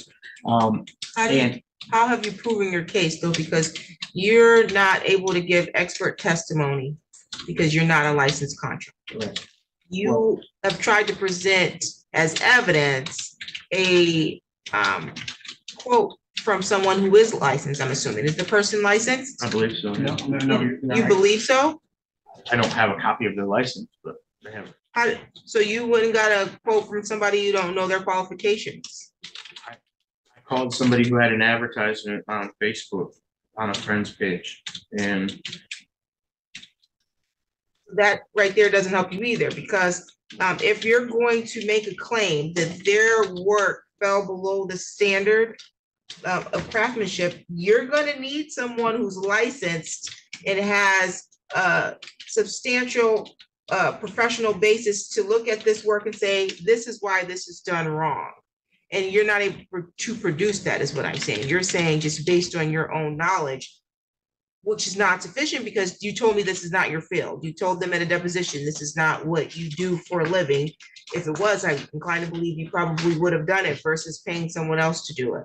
Uh, outside of that, even if you did, uh, you would be able to produce or provide the court with some testimony like, no, I do have experience doing this, which you've not been able to establish.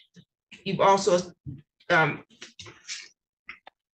been shown these exhibits, which is what the roof looks like now. Um, and you answered questions about the conditions of this roof now, which is that there's no leaks. Uh, there's been no plywood coming off, that, uh, you've not noticed or identified any shingles falling that you can identify where they came from. I'm looking at the pictures. I don't, it, that this is supposed to be or purport to be what the roof looks like now. I don't see any missing shingles. And so, uh, your, your breach of contract claim I'm, ass- I was assuming was because of the uh, placement of these nails. You believe that they're not placed properly, uh, and then them not coming back to remove the debris.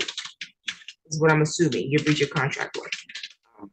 The debris issue, I don't think you need an expert for, but this, whether or not these were properly placed, or that the placement here um, essentially breaches the contract, doesn't give you the quality that you're looking for, you're not able to give your own testimony about, you need to have someone who does roofing give that testimony. Can we recess until I have somebody come in?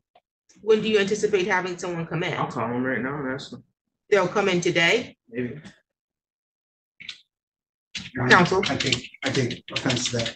I had a family member pass away overseas, and but for this trial, I could not attend that funeral. He said he's gonna have them come today, though. He can't have him come today. The guy's not a licensed contractor, and when I spoke with him, said he's not showing up. He refuses to. Oh, so you testify. spoke to the I person. did spoke to this person in advance in preparation, uh, when I was identified. Is that the person you're trying to call? I don't know who he's talking about that said they wouldn't show up. I don't know. what- Well, no, the, not that he wouldn't show up. The, the person that he's saying that he spoke to is the person you're trying to call? I don't know. What's the person's name? It's, um, Jack DeLong. That's who you spoke to? And he told you that he wasn't a licensed contractor? Is that, I, I mean. I don't know what that is, but he said, he told you otherwise? Yeah. He told you he was licensed? Yeah. Okay, well, if you can get him in here today, within the next hour, we can take his testimony. Um, otherwise, I have to go into consider his motion because you, you are deficient in presenting your proofs. I, I didn't realize I couldn't present this. I'm sorry. I had no idea. It's not being. I recognize that. Your Honor, that's actually not true, though, because I told him at the co- scope of his deposition, I asked him and I advised, you will need to present this witness in person. And he assured us he would be there. So any delay, He's looking like he re, he doesn't recall. Maybe you can refresh his recollection. I know I told you before from the beginning, uh, that you would have to produce your witnesses and you would have to produce your exhibits, and although he's an attorney and you're not, that doesn't mean that the court rules don't apply. I didn't know when he would need to be here for how long. this Well, it's a trial. I, kn- I know, It's gotta, if you're, wouldn't you think you're gonna present evidence if you don't present it at the trial? And we can't, this, we can't adjourn it because you didn't verse yourself on the rules. I told you from the beginning, you're gonna need to learn the court rules if you want to make this lawsuit. The other op- option that you had, uh, which I think this was removed from small claims, is that correct? Correct. Is there a counterclaim that we're Yes. pursuing today? It, Okay. it's- it depends. Okay, frankly, got it. Okay, and so you, you look like you did attempt to do this in small claims and it was removed from small claims. Um, and so you could have hired an attorney, was your other option. Get someone to help you navigate this because the burden is on you. They don't have to defend it, you have to prove it.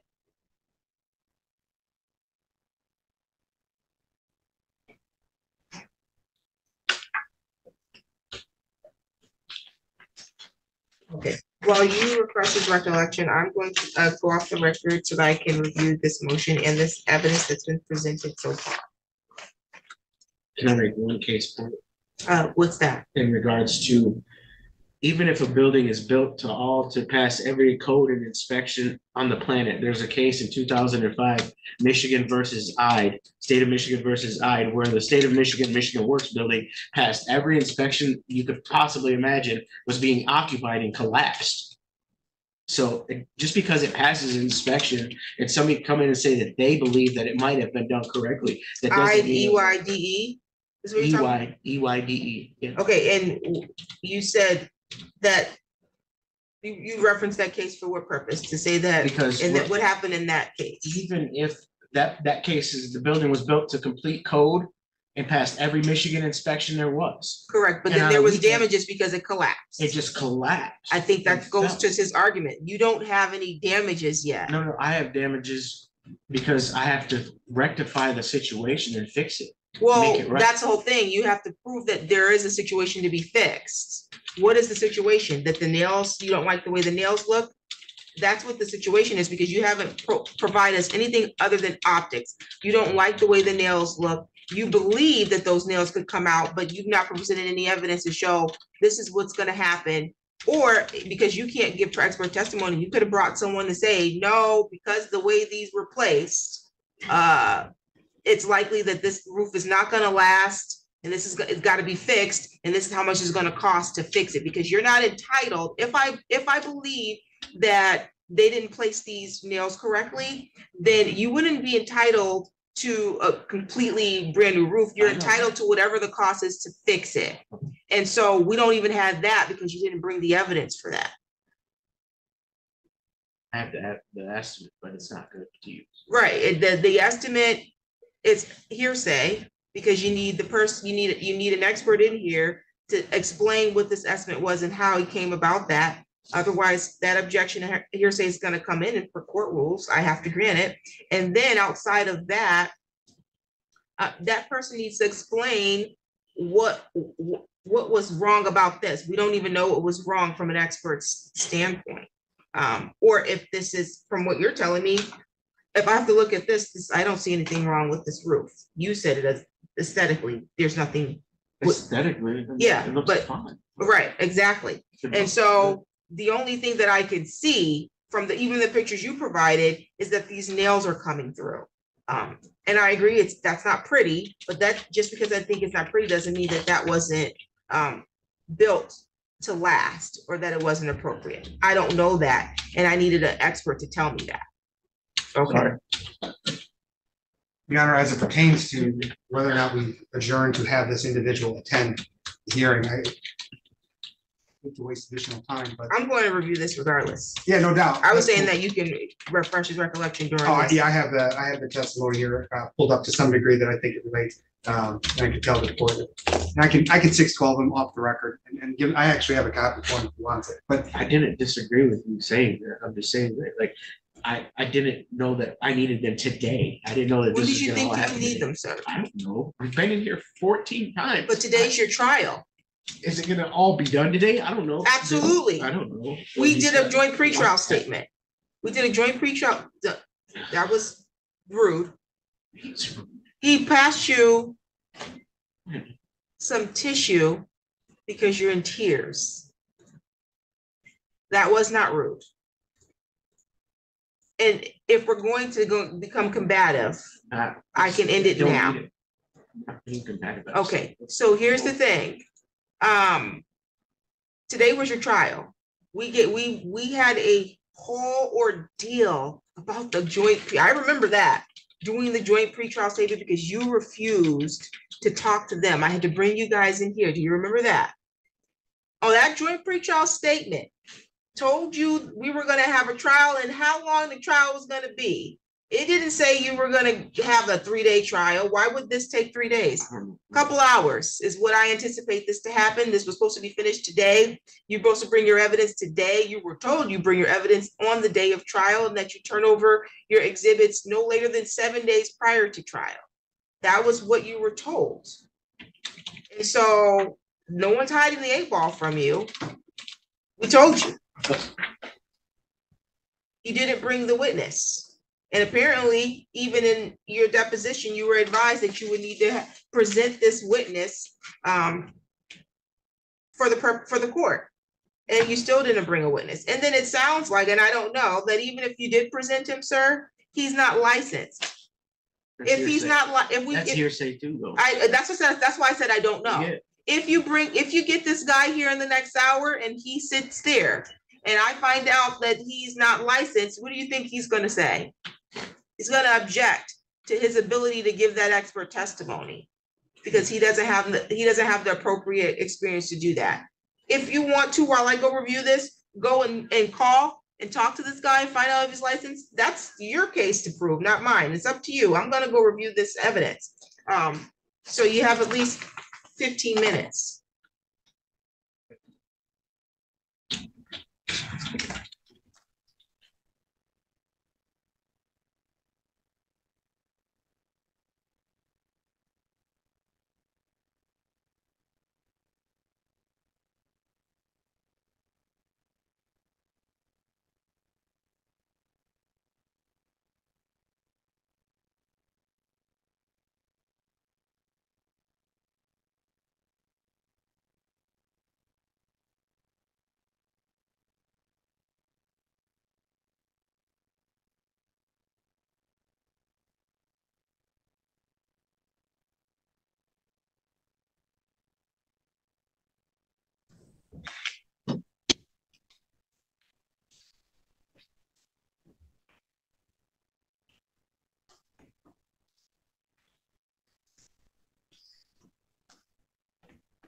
Okay, we're back on the record.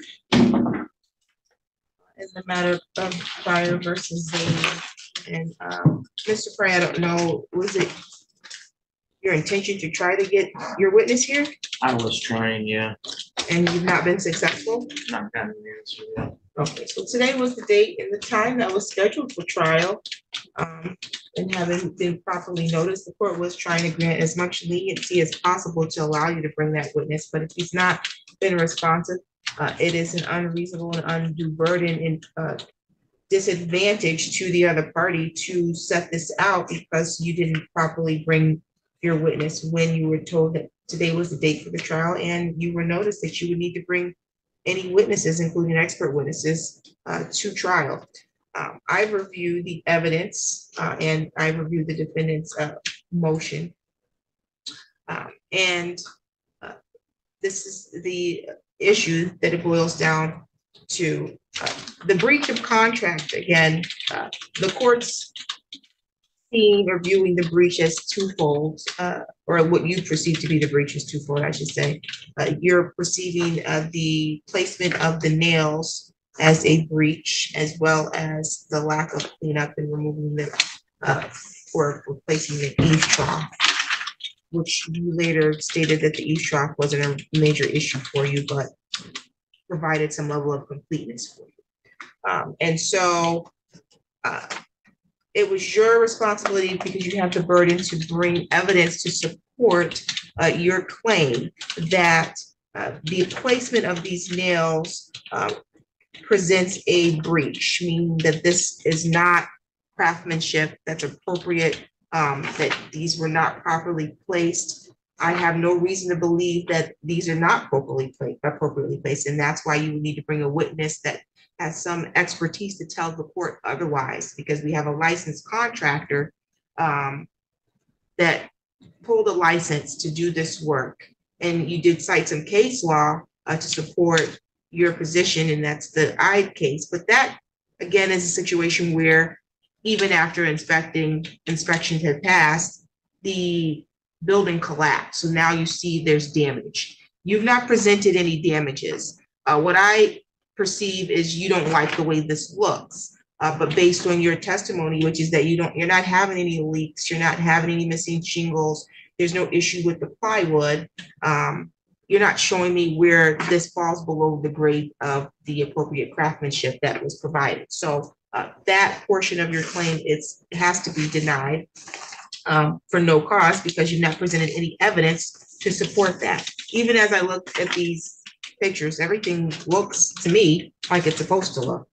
Uh, When I look or consider the issue as to the cleanup, uh, I agree with your position that if you contract to have labor done, that the cleanup is, should be a part of that labor. However, when I look at, the only thing that I have that tells me what your agreement was, um, which is labor, um, only. A, I think they're entitled to dump fees. Where did you think or how did they discard of all of the things that came off of your roof? They should not have to eat that cost. That's a cost that should be carried uh, by the homeowner unless you had it included in your contract, which this was for labor only, dump fees would not be included, that's your responsibility. Uh, that then leaves us with a thousand dollars that you never paid, correct? Is that it? Yes? Correct, yes. Okay, and so I don't value a cleanup, at least based on what I'm looking at, to cost a thousand dollars. Uh, so if I consider that, they are actually at a loss, not you.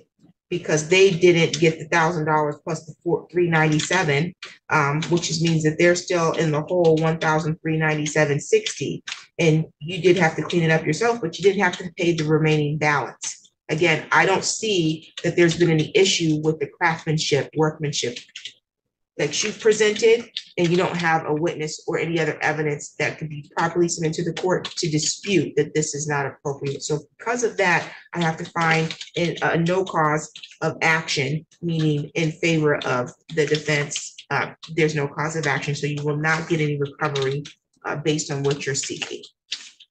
You did originally file a counterclaim. I don't know if it's your intention to still move forward. with that.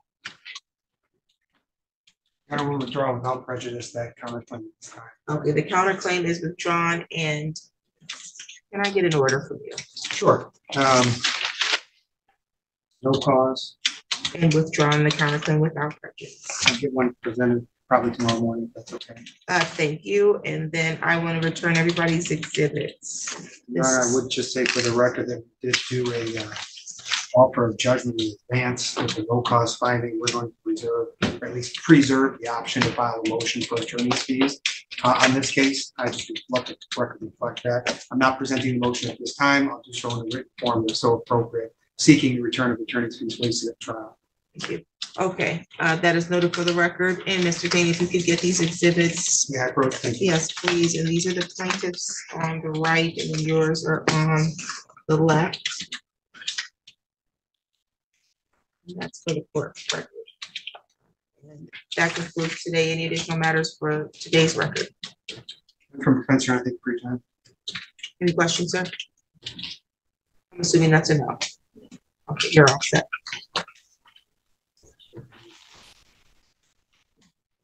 Actually, I do have one question. So is like.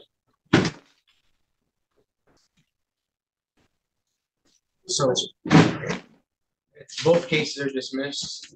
He's withdrawn his counterclaim against you. That's without prejudice, meaning we didn't litigate it, so he does have the right to still bring that as a separate case and serve you with the lawsuit, is what he's saying. And that he has the right to do that because it wasn't litigated and decided on.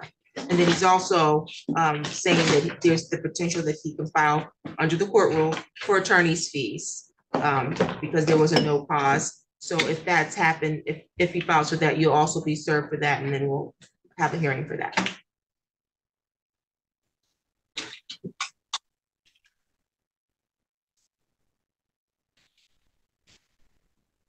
What else? I'm not advising you what you're supposed to do, I'm just explaining what he was saying. Thank you. You're welcome. Laney. Let's take your name for the record. Anthony Pryor. Okay, today's the date and time that's set for a motion uh for attorney's fees, uh which the court has. However, there was not a judge's copy filed. Uh, So it's just stuck in the file.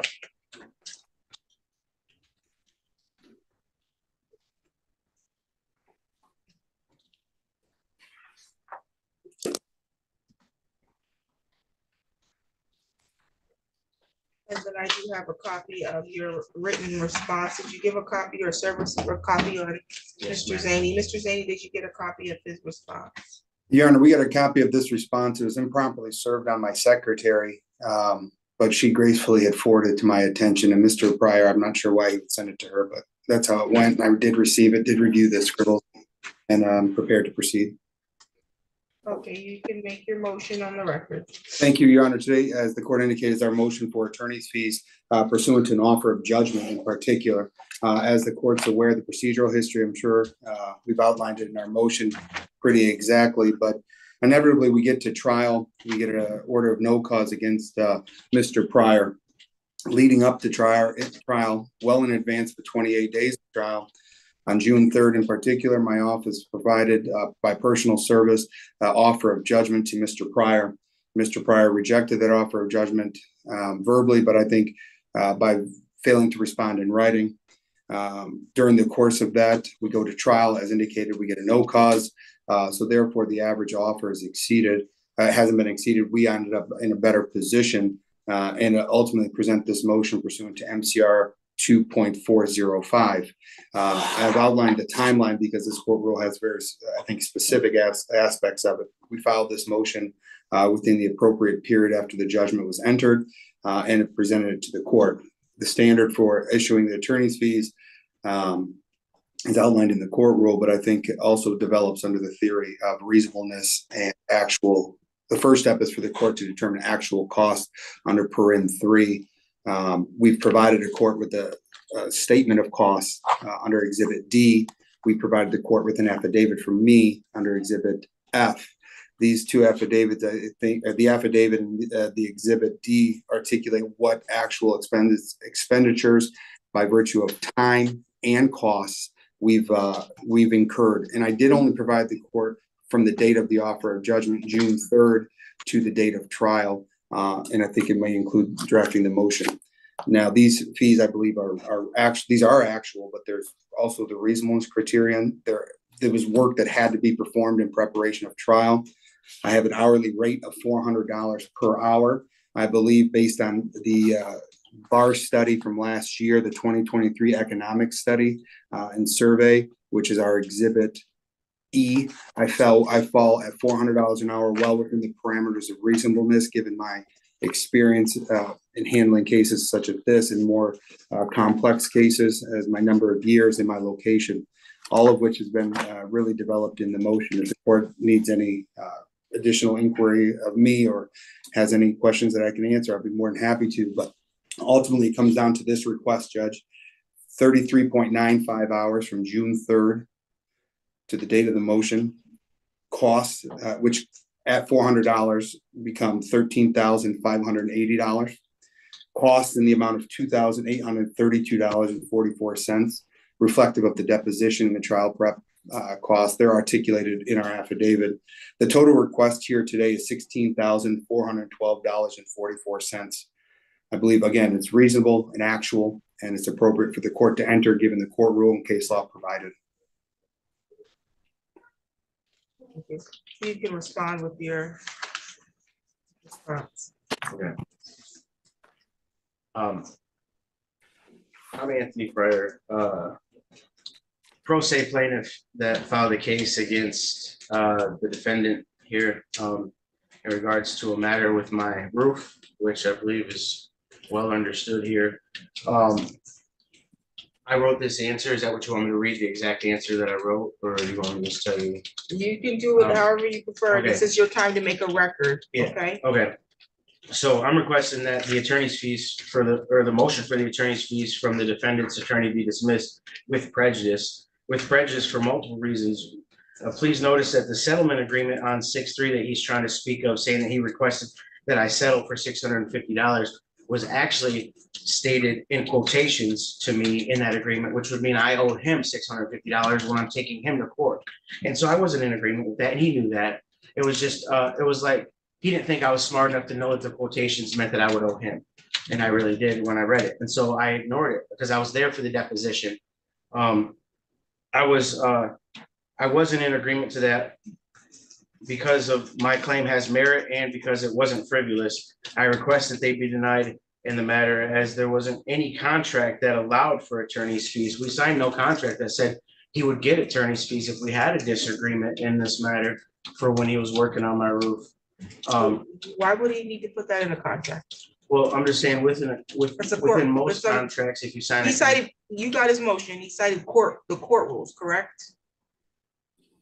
Yeah, and And the court rule says or outlines when and how you can make a motion for attorney's fees. It doesn't say anything about it needs to be part of a contract, does it? Well, I mean, I'm just saying in most cases, if You're I not had a answering my, contract you're not with answering him. my questions. Right, Do- Does it say that? I don't, it doesn't say that. I don't Okay. believe it does say that, Okay. but what I understand is that in most cases with a, a contractor and a consumer, uh, there would be, a need to be a clause in there for attorney's fees. That's what I thought, but. You think that um, most contracts need a clause to say that you can get attorney's fees if you sue? if there was a disagreement, I mean, most contracts would have. fee- uh, clauses Some in there. contracts will talk about how you can resolve a matter. Right, right. maybe uh trial versus arbitration or Right. mediation. Some, some may, some do not. It's not a requirement. You absolutely don't have to put a requirement as to uh, or a clause as to attorney's fees because the Michigan court rules provide for it. So I'm not sure, but. I, I'm not an attorney, I'm not a judge, obviously, you know that, I know that, I'm, I'm just a regular person. That wasn't happy with the job that was done in my room, But, um, I mean, you could also see that, I mean, I believe he's overreaching his professional abilities and, in, in rights, I mean, he's like literally like. The deposition itself was an abuse towards me about my past, had nothing to do with the roof. I spent three hours at this man's office being interrogated about my past not about anything to do with a job at my house or my presence or my, uh, my, uh, my residence with this roof. Had zero to do with any of it whatsoever. Okay, you you had a right to bring an attorney with you to any deposition. I You got had- hit by a Don't talk over me. You had the right to bring any attorney with you to the deposition. You had a right to make objections to questions that you thought were abusive or violated your rights in any way. You proceeded with the deposition. The court was not even made aware that there was a deposition until after it was hap, after it happened. So the- talk over me one more time and we don't have to have a hearing. Uh, so I, so to come now and say that the reason why, um, you don't believe he's entitled to attorney's fees, when he is in fact an attorney, he's a sole practitioner, he does has an hour, have an hourly rate. Um, you know, you need to bring me a little bit more substance than the fact that you didn't like the settlement offer and you also didn't like the questions at the deposition, because he also highlights uh, that in his motion, that there was an offer to settle, and you also have the right to counter offer and settle. And did you counter offer to try to resolve this short of a trial?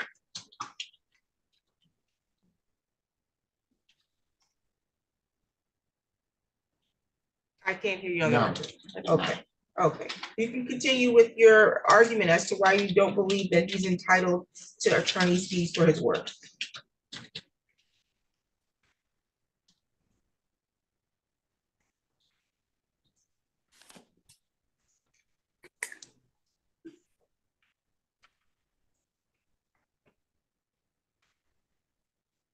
I request that it be dismissed because there was, with prejudice, because there was no pre-approval from the court for this excessive amount of inflated hours and fees for his defense from the deposition time until trial time.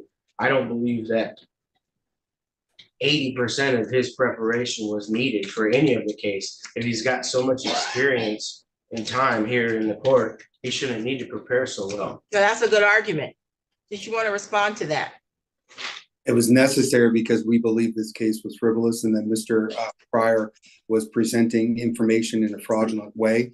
Uh, and then we had to anticipate the unknowns in this case, Your Honor. That deposition was three hours uh, because of the difficult nature of answering questions and the information garnered in conjunction with the preparation. I have an obligation to my client that requires full preparation. Every bit of that, and probably there's probably time that wasn't recorded as it relates to trial preparation is distinctly different than anything else. As the court's well aware, trial preparation, you have to make sure you have your law. We put a memorandum together for the court as it relates to the issues relevant to this case to streamline this. Uh, in addition, we showed up well prepared with necessary witnesses, including an expert that we had ready to go where Mr. Pryor failed to produce his witness. And he was warned about this. This was part of trial. He was warned about this by the court. He was warned about this during his deposition, and he still showed up unprepared. I had to prepare because I have an ethical duty to prepare, a professional duty to prepare. And every aspect that I presented was a required obligation of preparation.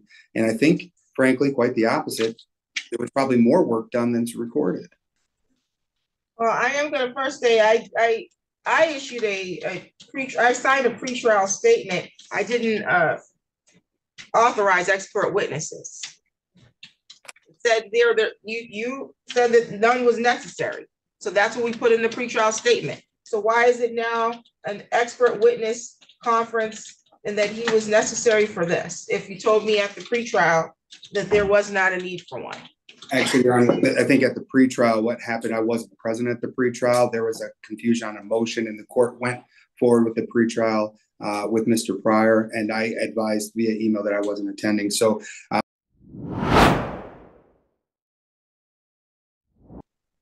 You, Mr. Pryor? Yes, ma'am.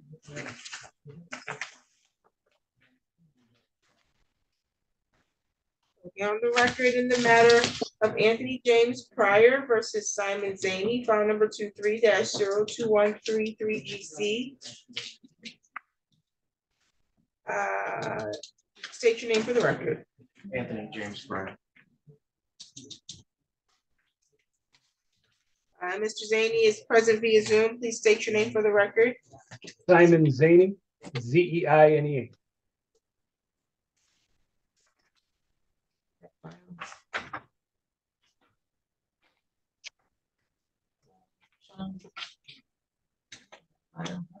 That's your number. Okay, today was the date and the time that was set. Oh, I think I have it here, so I have it, Sean. I'll take that file. there. Oh, Thank you. Uh, today was the date and the time that was set, uh, for a motion uh, to set aside a dismissal. Mr. Pryor, you filed a motion to set aside dismissal. Say you came before the court. This court, I believe it says ex- explaining. The above said claim is meritorious and asked the court to reinstate this claim and set it for a new date yesterday. When logging into Zoom, I entered the room ID and said, once my name appeared on the screen, I'd be admitted to the hearing. That didn't happen. So I came to the court. I'm not sure what that word says, but the, but the dismissal was already put through. I have pictures and videos. Okay, so uh, when your case is dismissed, you did have a court date that was scheduled on November twenty-first. Looks like you came the next day and filed this motion to set aside. And it, you attempted to log into Zoom, you said? Yeah, I was actually on Zoom that morning, uh, the day of the court hearing, and I, it said, it said your name at the bottom of the screen, and I could probably do it again right now to show you. Um, I had the correct information according to the court clerk that was out in the hallway, but it just was, it just said at, as soon as my name appeared on the screen that I would be admitted to the room. And then it never did that. So about 20, 30 minutes into the hearing time, I jumped in my truck with it on my phone and I drove down here and came upstairs and the courtroom was already dark and you guys were already gone. It was a pretty quick. I guess that was one of the last cases or something probably, but he just said that I had to come back the next day and request that it be reset. And I, I mean, I, no intentions on missing it at all whatsoever. I mean, it's a pretty serious case in my, in my eyes. Yeah, well, the way our Zoom works is if you're in our Zoom waiting room, it pops up and tells me someone's in the Zoom waiting room and we admit everybody in the waiting room. Um, and if you were on time, you would have been admitted. Uh, and if we didn't know what your name was, because we admit you even if you don't put your name in there, anybody in the waiting room gets admitted. You did not join my courtroom that day because we never saw you. And, and, and I give a grace period. So that means that by the time I finished my docket for that day, you had not appeared. So in order to have a- a dismissal set aside, you gotta give me two things. You gotta give me a good cause as to why you missed court, which I believe you have, good cause, but you also gotta give me a meritorious defense. And so you believe you have a, a, a, a good case in your eyes. I don't want you to get into your proofs because that's not what today's Yeah. date is for. Uh, this is, and I know nothing about this case, obviously. So this is, you're suing Mr. Zaney in this matter, Yes, ma'am. and you believe that you have a, a valid or meritorious case, I, I presume, correct? Yes, ma'am. And this is over the replace of a roof? Yes, ma'am.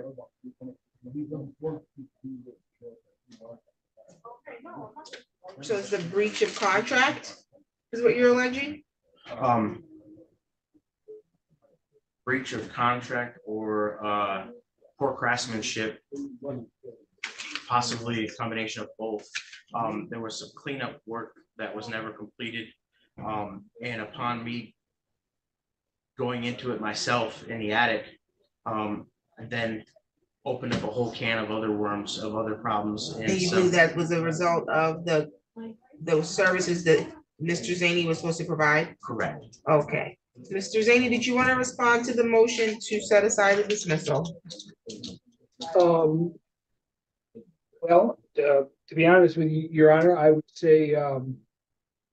I was here, I was present at this. I did not see a list who's in the courtroom with us and uh, I didn't see him.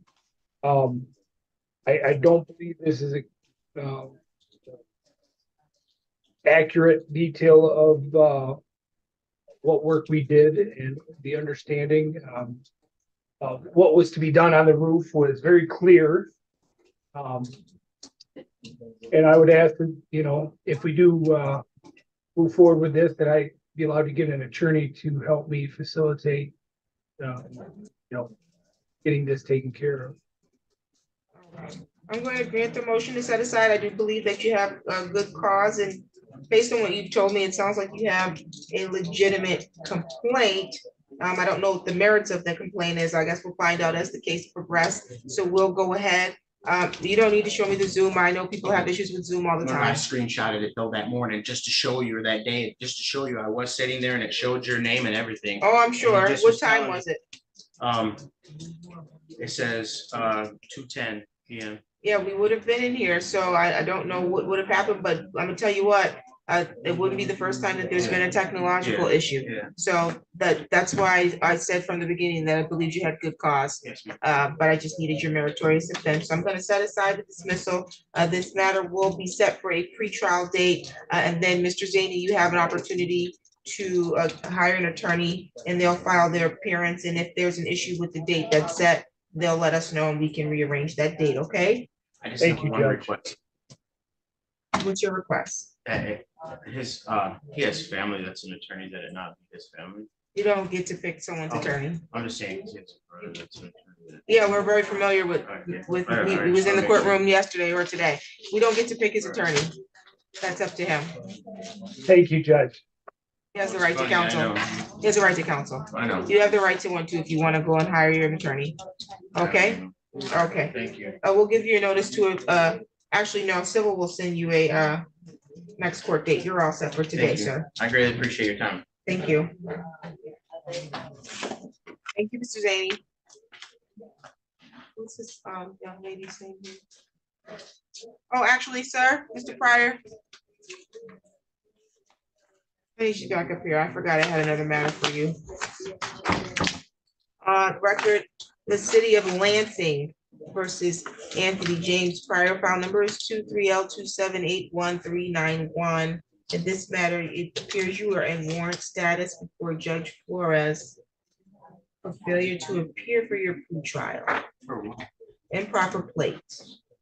You're supposed to be before him on, no, no. I, want, excuse me. you were supposed to be before Judge Flores on August twenty-first. Um, and I went before him and also the city attorney, um, or the prosecutors, one or the other, I'm not sure exactly which one was in the courtroom. Um, and they were setting it aside because I have an issue with Carvana. I bought a car in I don't wanna September. hear any other term, uh, it's not even my case, I don't care less about that.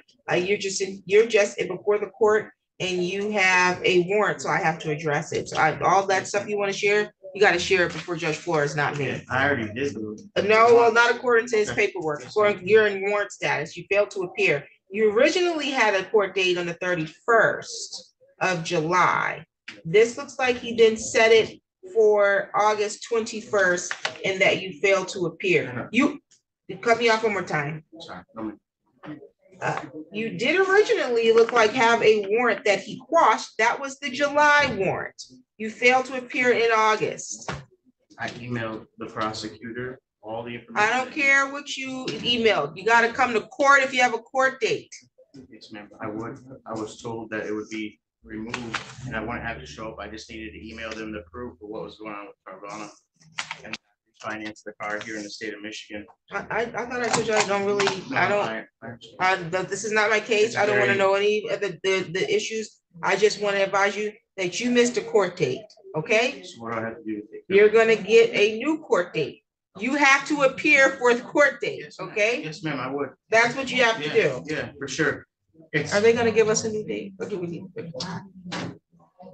I've had that car for three years and it's been here in Michigan for. two Sir, I years. don't, They're fighting. Sir, I don't wanna hear about it. I know, it's a disaster.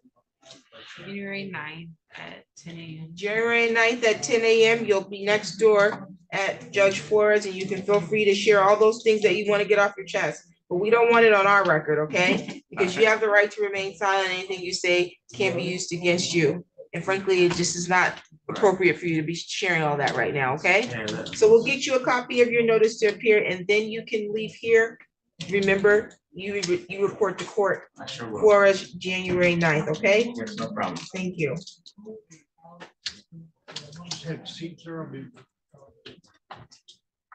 Hey, friends, this is kind of a crossroads. Do we continue down the rabbit hole and head to Judge Flores's court, or do we jump back to Judge Simmons to the main hearing? Yeah, I know. Always take the rabbit hole. seven eight one three nine one. That's the city of Lansing versus Anthony Pryor. Will the parties please indicate their presence for the record? Ms. Williams. Good morning, Your Honor, Assistant City Attorney Amanda Williams appearing on behalf of the city of Lansing. And sir, you are Anthony Pryor, is that correct? Yes, sir. All right, thank you. This, the time is set for a pretrial in the matter. Ms. Williams, how are we proceeding? Your Honor, the city moves to dismiss at this time.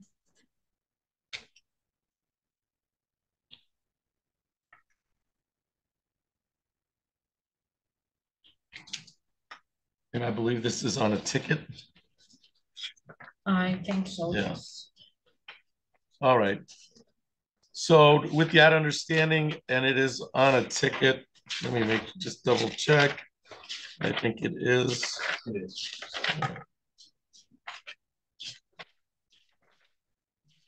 Find it.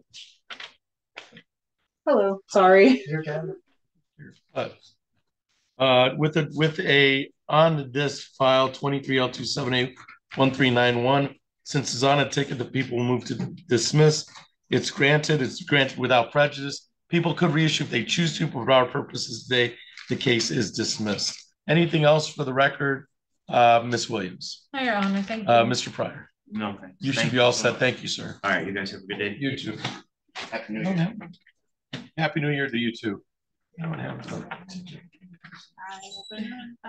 I, I respect that. I noted that. I take, care- I take reference to that. But I would tell you during the course of his deposition and consistently the issues herein was the need for that expert that he had.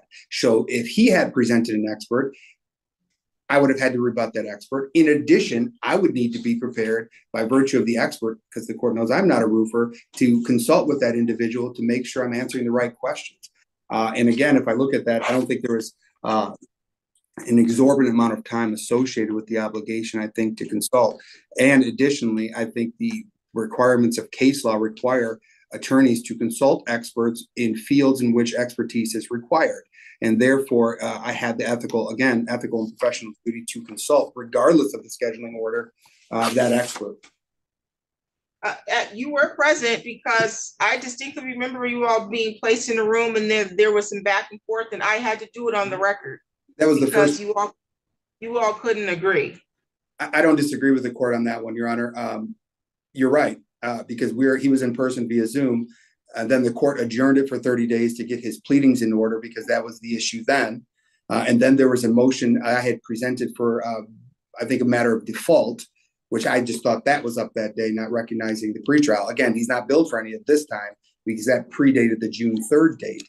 Anything we presented to the courts, June third and forward. And so the, the, the substance, the court's accurate in that pretrial, the court's accurate, there was a second uh, pretrial that the court issued a pretrial order and said no experts. I don't dispute any of that. Um, but I wasn't at that one because that was the day in which I presumed it was the motion which I withdrew. And the court subsequently issued that, that order. Fine, I respected it and I abided by it.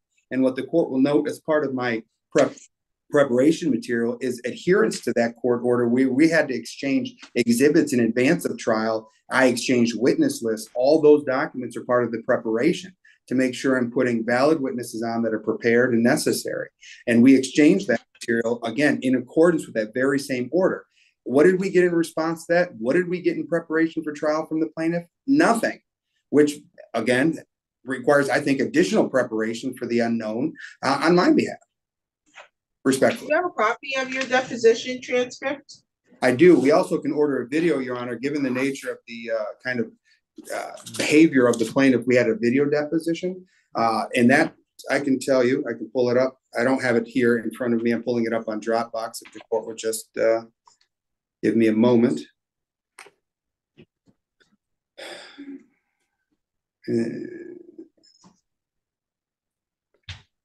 And it was identified as one of our trial exhibits, Your Honor.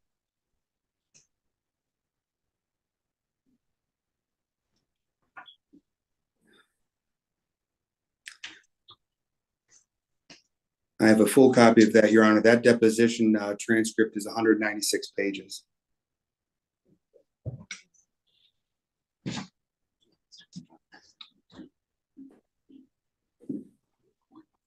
Oh, that's, yeah.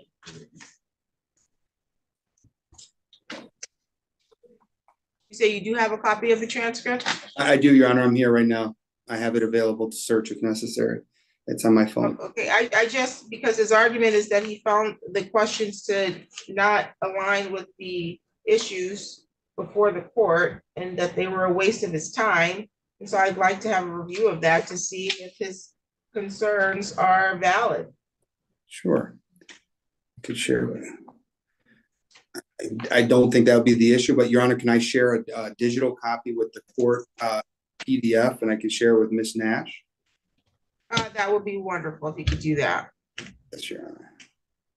Yes, Earlier, he had said he didn't know why I sent this to his secretary. That's because that's where I got some of their responses from, so I replied. to it. I get it, but you also didn't file your response to today, so you gotta file, you, you can, I don't, so I means I saw this when I walked on the bench. I- I'm sorry, and I can explain that too. I don't need you to explain it, but we, we, to, to his argument, there's been a lot of delay because you've not followed the court rules. You brought the lawsuit, you're required, and I told you from the very beginning, if you bring a lawsuit, I recognize that you are representing yourself pro se. You still have to follow the court rules. The court gave a lot of leniency as it relates to that. That doesn't take away from the time that it, it is expended for attorneys re, uh, scheduling out and coming back and forth. Then Mr. Zaney appeared. I'm looking at the bill. I don't know if you looked at it. I don't even, I don't even see before you a copy of what he, what he filed. But for example, I know I there were motions and I signed an order for the pretrial statement, uh, the pretrial order in April, and there were motions in March and prior to that signing of the pretrial statement. And he's not billed for any of that. Uh, I, I also, uh, know that Mr. Zaney's fee is consistent with the state bar, uh, standards. And that he does, uh, he's, the bill he's posting here is what he would charge the general public. I just don't know that that's what he would charge to his brother. That's a whole separate issue. Uh, but that is his, his going rate. Um, do I believe that it, it's, I think you make a valid argument, Mr. Pryor, about uh, the amount of time it should have taken him to prepare for this matter. He's trying to bill here for thirty-four hours of preparation.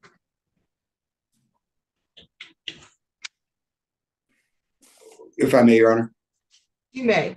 Uh, I, don't think capsulizing this is just preparation, it's diligence in the case. Uh, because it starts from June third and it transitions into true trial prep. And this isn't an issue of just true trial prep. It's from the dates in which we made that offer. So it encompasses, I think, a lot more. Uh, yes, the focus was on preparation. Uh, and then just lastly, if I could just clarify a point that Mr. Pryor made that I never got to. Uh, he indicated there was some matter of the way the offer was presented. This offer was presented consistent with court rule in writing and it's attached as Exhibit B. There was no, uh, no way, no ambiguity here. It was offer of entry of judgment in favor of the plaintiff in a specific amount, in his favor. So to try and present to the court something contrary, I think is disingenuous at best, which has been consistently the challenge uh, with Mr. Pryor's representation. So I Is did. that offer made in writing to you? It was. What made you think that there was some um trickery going on? The amount was in quotations, and I know What does that that when you mean? put a dollar amount in quotations, like if I look into my bank statement, if it's in quotations, it's in a negative. That's That means it's not, below. sir, that that's means not I what that would owe means. him. that's would- that, you're wrong. That's Okay, not what I that might be means. Wrong, but that's what I That- thought, did and he- when I asked him. Do you have a copy? I what do, he wrote? in the file, yes, I didn't bring the whole file with me. Okay. I didn't, Because why? We went through this before. Why would you not bring your file to court? I just. I don't- There's a lot of stuff. when you're writing, especially legal writing, and I don't know what he wrote, but I could imagine that he probably, if it was six hundred, typed out six hundred in words, and then he has to put the six hundred in quotations, because that's how you write. It's not trickery, sir. I misunderstood his offer. You misunderstand a lot of things, and it's reasonable because you're trying to navigate a process that you're not familiar with. Uh, but I advise you early on, you might want to get some assistance of counsel. If you want to move forward with this, you might want to counsel with an attorney. Uh, so that you know that you're following the rules properly, because navigating the civil litigation is not easy. And so. I'm gonna review this bill. Uh, Oh, you you sent me. I'm Can I also make a gonna, statement to my defense on that? you matter? may, I didn't hire an attorney because I got hit by a car in February and I haven't worked until just like three weeks ago, starting back working. So yeah, I couldn't afford to hire an attorney for this matter. And then if you notice, in my other case, I have. I don't wanna hear anything about your other case. Right, I have representation from. I don't wanna, yeah, I I'm don't- just saying, I your, know, your, your other case has I would nothing to do love- with this file. I file. would love to have had an attorney here. I would love to have had an attorney in this case, because I believe the matter would have been completely opposite if I did. But I couldn't afford one at the time. Your Honor, if I could just reply to the other portion of his statement. You may. I'd ask the court when reviewing the transcript to pay particular attention to page one hundred. On page one hundred, Mr. um, Mr. um, Pryor referenced and recognizes uh, as part of our discussion uh, that he was offered a settlement agreement. It was clarified for the amount approximately, and he just ignored that. Um, And he was explaining the consequences of the offer at that time. Uh, This was something that um, I, I want the court to be aware of. uh, And I'll, I'll rest my case on that point. Thank you. Thank you. I, uh, any further argument you want to provide for the court, sir? I just want to apologize. I didn't bring the file because I was busy taking my daughter to school and I didn't have time to go home and. Okay, If, uh, but you knew you had this court date before today. Yes, Okay. yes, I did, but I didn't have it in my truck because every time I turn a corner, I got so much stuff, it falls over everywhere. So I took it out of my truck and I didn't have it in my truck. Okay, I'm gonna set this for a date. I need time to review the transcript and I'm going to uh, comb through this. Comb through this uh itemization that Mr. Zaney's provided. Uh, you've not, sir, given me or uh, gone through, I don't know if you've gone through that or it. Other than the the deposition, you've never, you've not pointed to anything that I believe you have particular concerns about. Um, so I need to just go through to see the reasonableness. I believe that he is due attorney's fees because attorneys don't work for free. It's, it, it, it turn- that, that's a, a a misconception. Um, and it's a cross that every single attorney in the United States of America bears. As soon as they become licensed, their families and friends want free legal advice and free services. And they don't work for free. Just like I can't come to your job and ask you for free stuff. His job is legal work and his legal expertise. And if he's taking his, his, um, time and he's using his resource and he's using his education, he should be paid for it. I will make a determination as to what I believe is reasonable and equitable in this particular matter after reviewing the transcript as well as going through the thirty-three point nine five hours uh, submitted by uh, Mr. Zaney. I'll give you a date, the next available date for my review. He's gonna be here on October third. Uh, he's already gonna be here October third. Does that date work for you, Mr. Zaney? Does, Your Honor. At one thirty, October third at one thirty. Thank you, Your Honor. We'll get you a notice to appear for this as well, okay? Um, You're all set for today on this. Thank you. Good day. Thank you. Yes, please. Good afternoon, Your Honor. Edward Zaney on behalf of Simon Zaney. Pryor.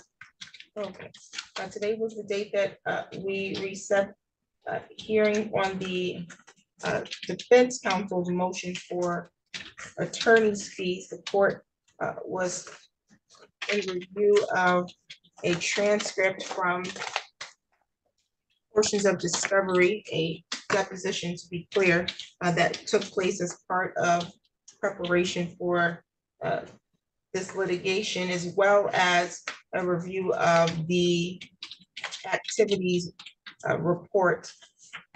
Or expense.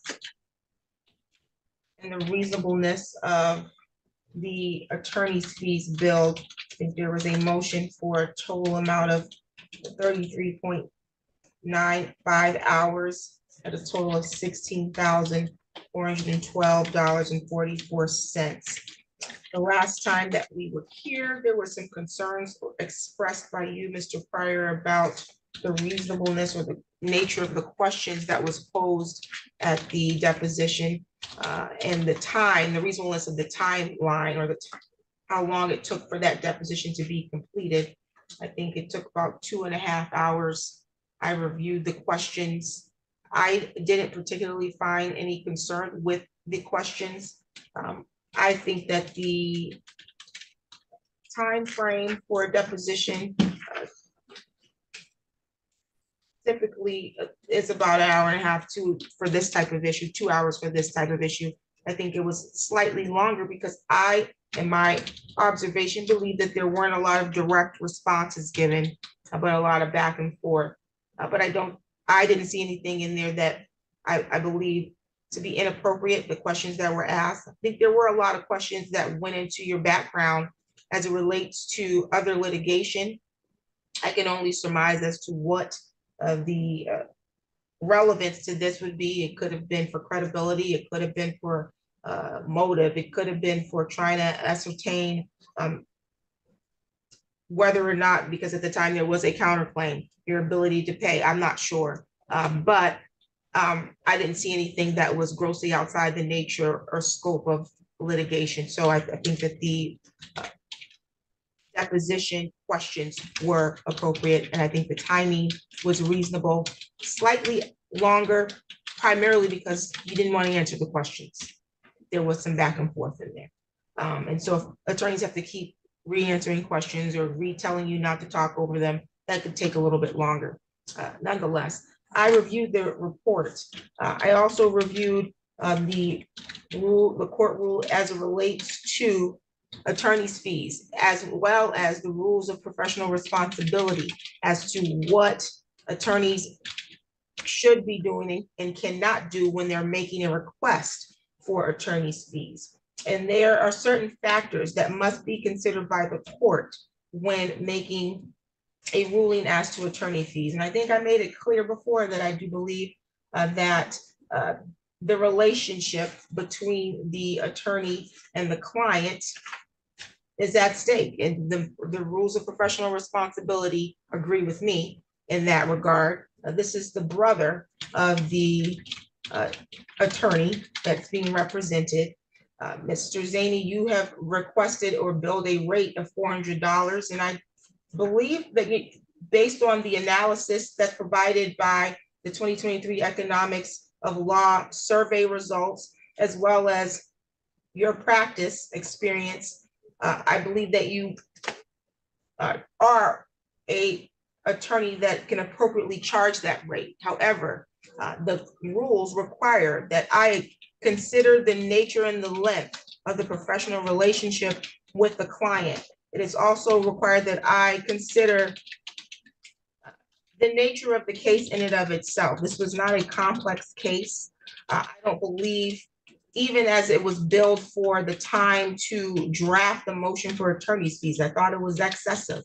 Uh, Do I think that you had to go and get new uh, research for your motion? No, I think that you file motions for attorney's fees probably commonly. You probably could have cut and paste the majority of your uh, research uh, into this motion. It's not a long, it's not really a long motion anyway. So I don't know that all of this time that's being spent was reasonable and necessary. I also think that the rate uh, of four hundred dollars was not uh, reasonable as it relates to the relationship between the brother, two brothers uh, in business in other uh, facets, but in this particular case, a relationship, an attorney-client relationship. The rules of professional responsibility indicate that we know that when there is a history of relationship there, a negotiation of that attorney's uh, regular fee is more likely to be lower than what it normally would be. So do I think um, that four hundred was reasonable? No, and so I'm not going to grant you a rate of four hundred uh, per hour. I think that because this matter has been pending uh, since November twenty twenty-three, we had multiple court dates. There were more than one motion filed on, on this matter uh, that uh, there was definitely a, a number of hours that were expended on this. The concern that the court does have about one of the expenses, other than the uh, research or the time it took for research, was uh, the expert uh, billings. Because I reviewed my order for discovery and I did not grant any expert. And so I don't understand why it would be reasonable for us to go into uh, a rabbit hole of expert trial uh, prep at the rate, or for, it looks like for four hours or almost four hours. There was no expert in this, at least there should not have been. This was a pretty uh, straightforward case, and he's not, he did not pre- present an expert. I know he presented some document about someone who came to see the roof, but I think that it could have easily have been flushed out uh, that there was no expert noted in the order for the court for this, uh, pretrial order for discovery. And we know in district court, discovery is uh, limited in scope unless otherwise noted in the order. The order stated here, we weren't having an expert witness. And you never even, you, you noted some witness, but you never called them. So as it relates to any uh, line items for experts, that won't be recoverable. Uh, so that need to be striked. I am going to also reduce the attorney fee uh, from four hundred uh, to the median rate uh, that was indicated in the uh, Michi- uh, State Bar of Michigan Economic Report. Uh, So that's to three twenty-five an hour. Uh, So I'll let Mr. Zaney adjust his paperwork because there's a lot of line items there and I'm not gonna go through line by line to figure out exactly all the ones that were attached to any expert that needs to be ad- addressed and removed. And then as it relates to the time it took for you to draft this motion, I found that to be a bit of excessive. I think you billed almost four hours. I don't know that it took you four hours to draft this. Uh, I think you could probably draft a federal motion in less time. Uh, so on a more complex issue, uh, if you are a attorney in that percentile uh, with the experience that you have.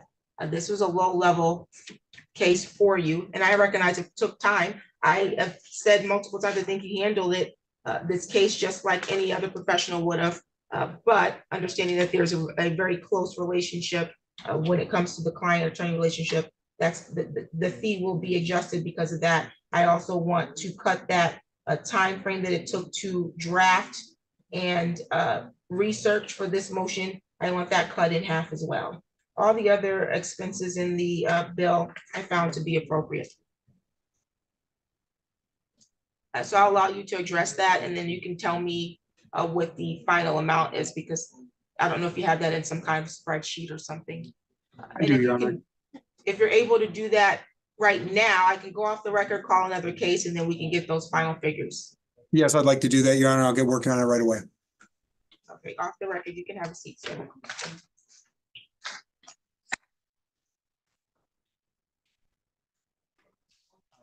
Okay, uh, Mr. Zaney, were you still working or you need more time? I, I'm ready. I have it figured out. All right, back on the record in the matter of Pryor versus Zaney. Uh, Mr. Zaney, what adjustments do we have here? Your Honor, what I did, when I heard the court talk about the motion prep, you wanted it cut in half, but uh, what I did was, I also heard the co- court say it should have been only a couple hours. I attributed two hours to that work. So I took off the first four entries on page one of four of Exhibit D from 817, 811, 810, and eight five. That removed six hours and I, well, six and left two. So I removed four hours and billed it only for two hours total. So I did more than the half the court had requested. I removed the six hundred dollars in costs for the expert on that same page of the exhibit from eight one. In addition, I removed a total of hourly work for the expert to be an additional two hours. Any communication with the expert I removed, which would be reflective on page well, the first six hundred is on page one, page two, the entry from seven twenty-three and seven twenty-two, that's one hour. Then the next page from seven nineteen and seven seventeen is another hour. I removed both of those. So it reduced, the total hours removed was six, reducing it to a total of twenty-seven point nine five hours. There's a caveat, and I'll bring this to the court's attention to make a determination. I did indicate I charged uh 0.75 for preparing witness fees and the where it does say there was an expert endorsement. I did not attribute that to the work of experts, but my witness list entirely. So if you would like me to remove that, please advise and I'll recalculate. Otherwise, I believe I've addressed points to uh, in full and full candor to the court as it relates to witnesses. If the court were to stick with my application or my reduction, twenty-seven point nine five hours at the hourly rate approved by the court of three twenty-five for a total of attorney's fees of nine thousand eighty-three dollars and seventy-five cents. A reduction in the expenses from two thousand eight thirty-two forty-four minus the six hundred for the expert, total of two thousand two thirty-two forty-four. The grand total, eleven thousand three hundred sixteen dollars and nineteen cents.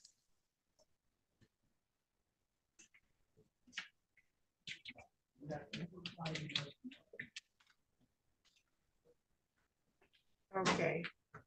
Thank you. I'm satisfied uh with the reductions that was made. Uh, and I will grant the request for attorney's fees in the amount stated on the record. Uh, can you produce an order Yes, for Your Honor. attorney's fees and cost that that is?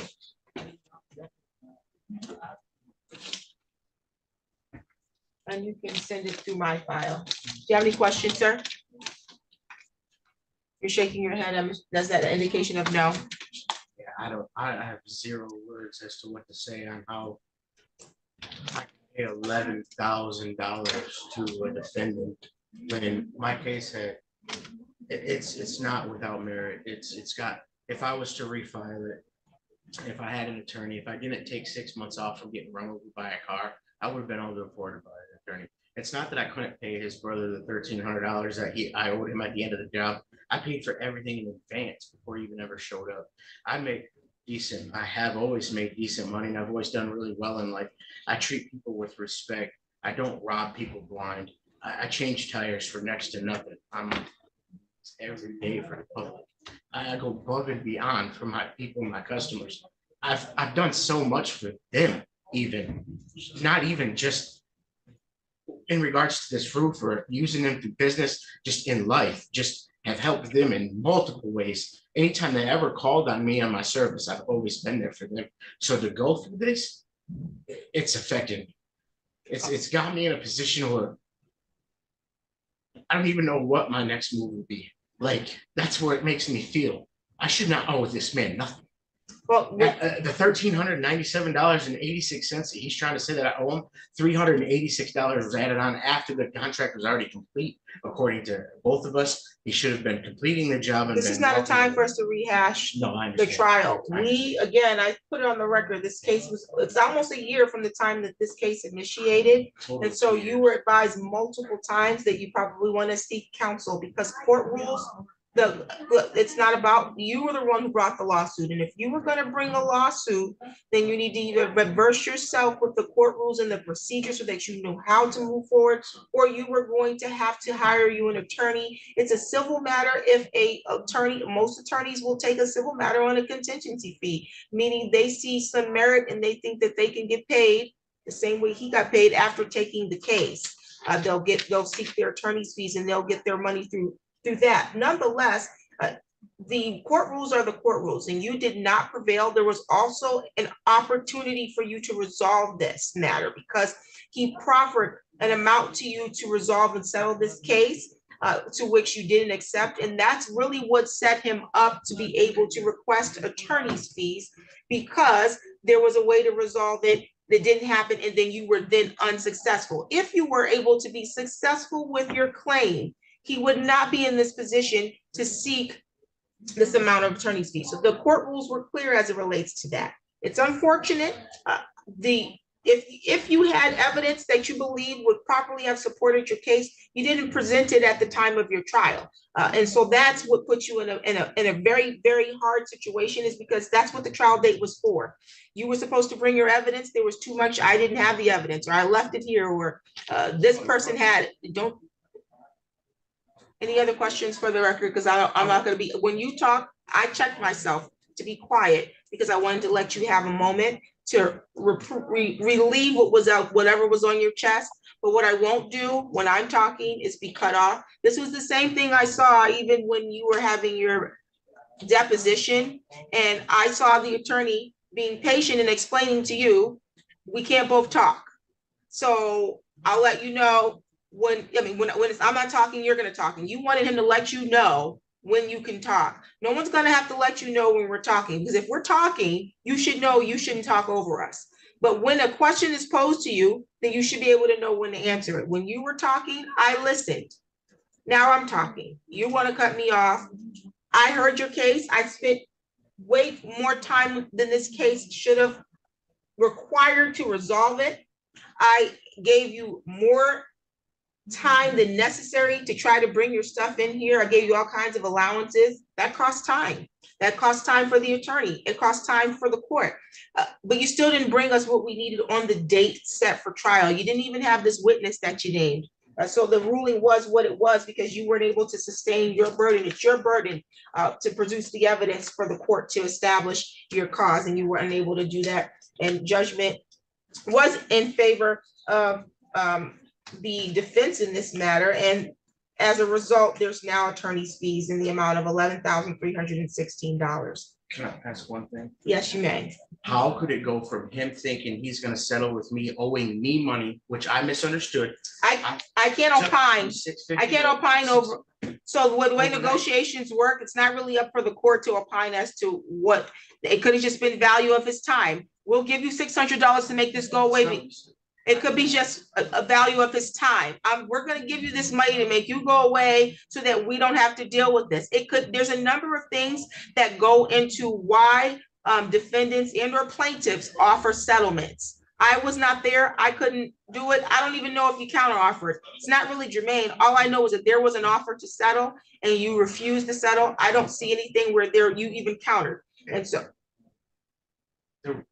I'm not trying to cut you off, but I, I didn't, I misunderstood. When, when I went to his office for the deposition, I was very upset. I did not want to be there. I was supposed to be at a doctor's appointment for my car accident.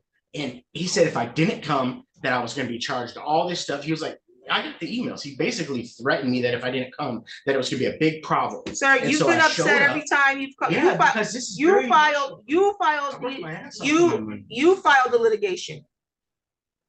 You, when you file litigation, that it comes with stress, it comes with paperwork, it comes with understanding these rules. And so you brought it, and every time you came to court, even when you came for the pretrial, I had to intervene. I shouldn't have had to intervene just for you to complete a joint pretrial statement, but I had to because of your attitude. I'm not dealing with it anymore. This case is done. You're all set.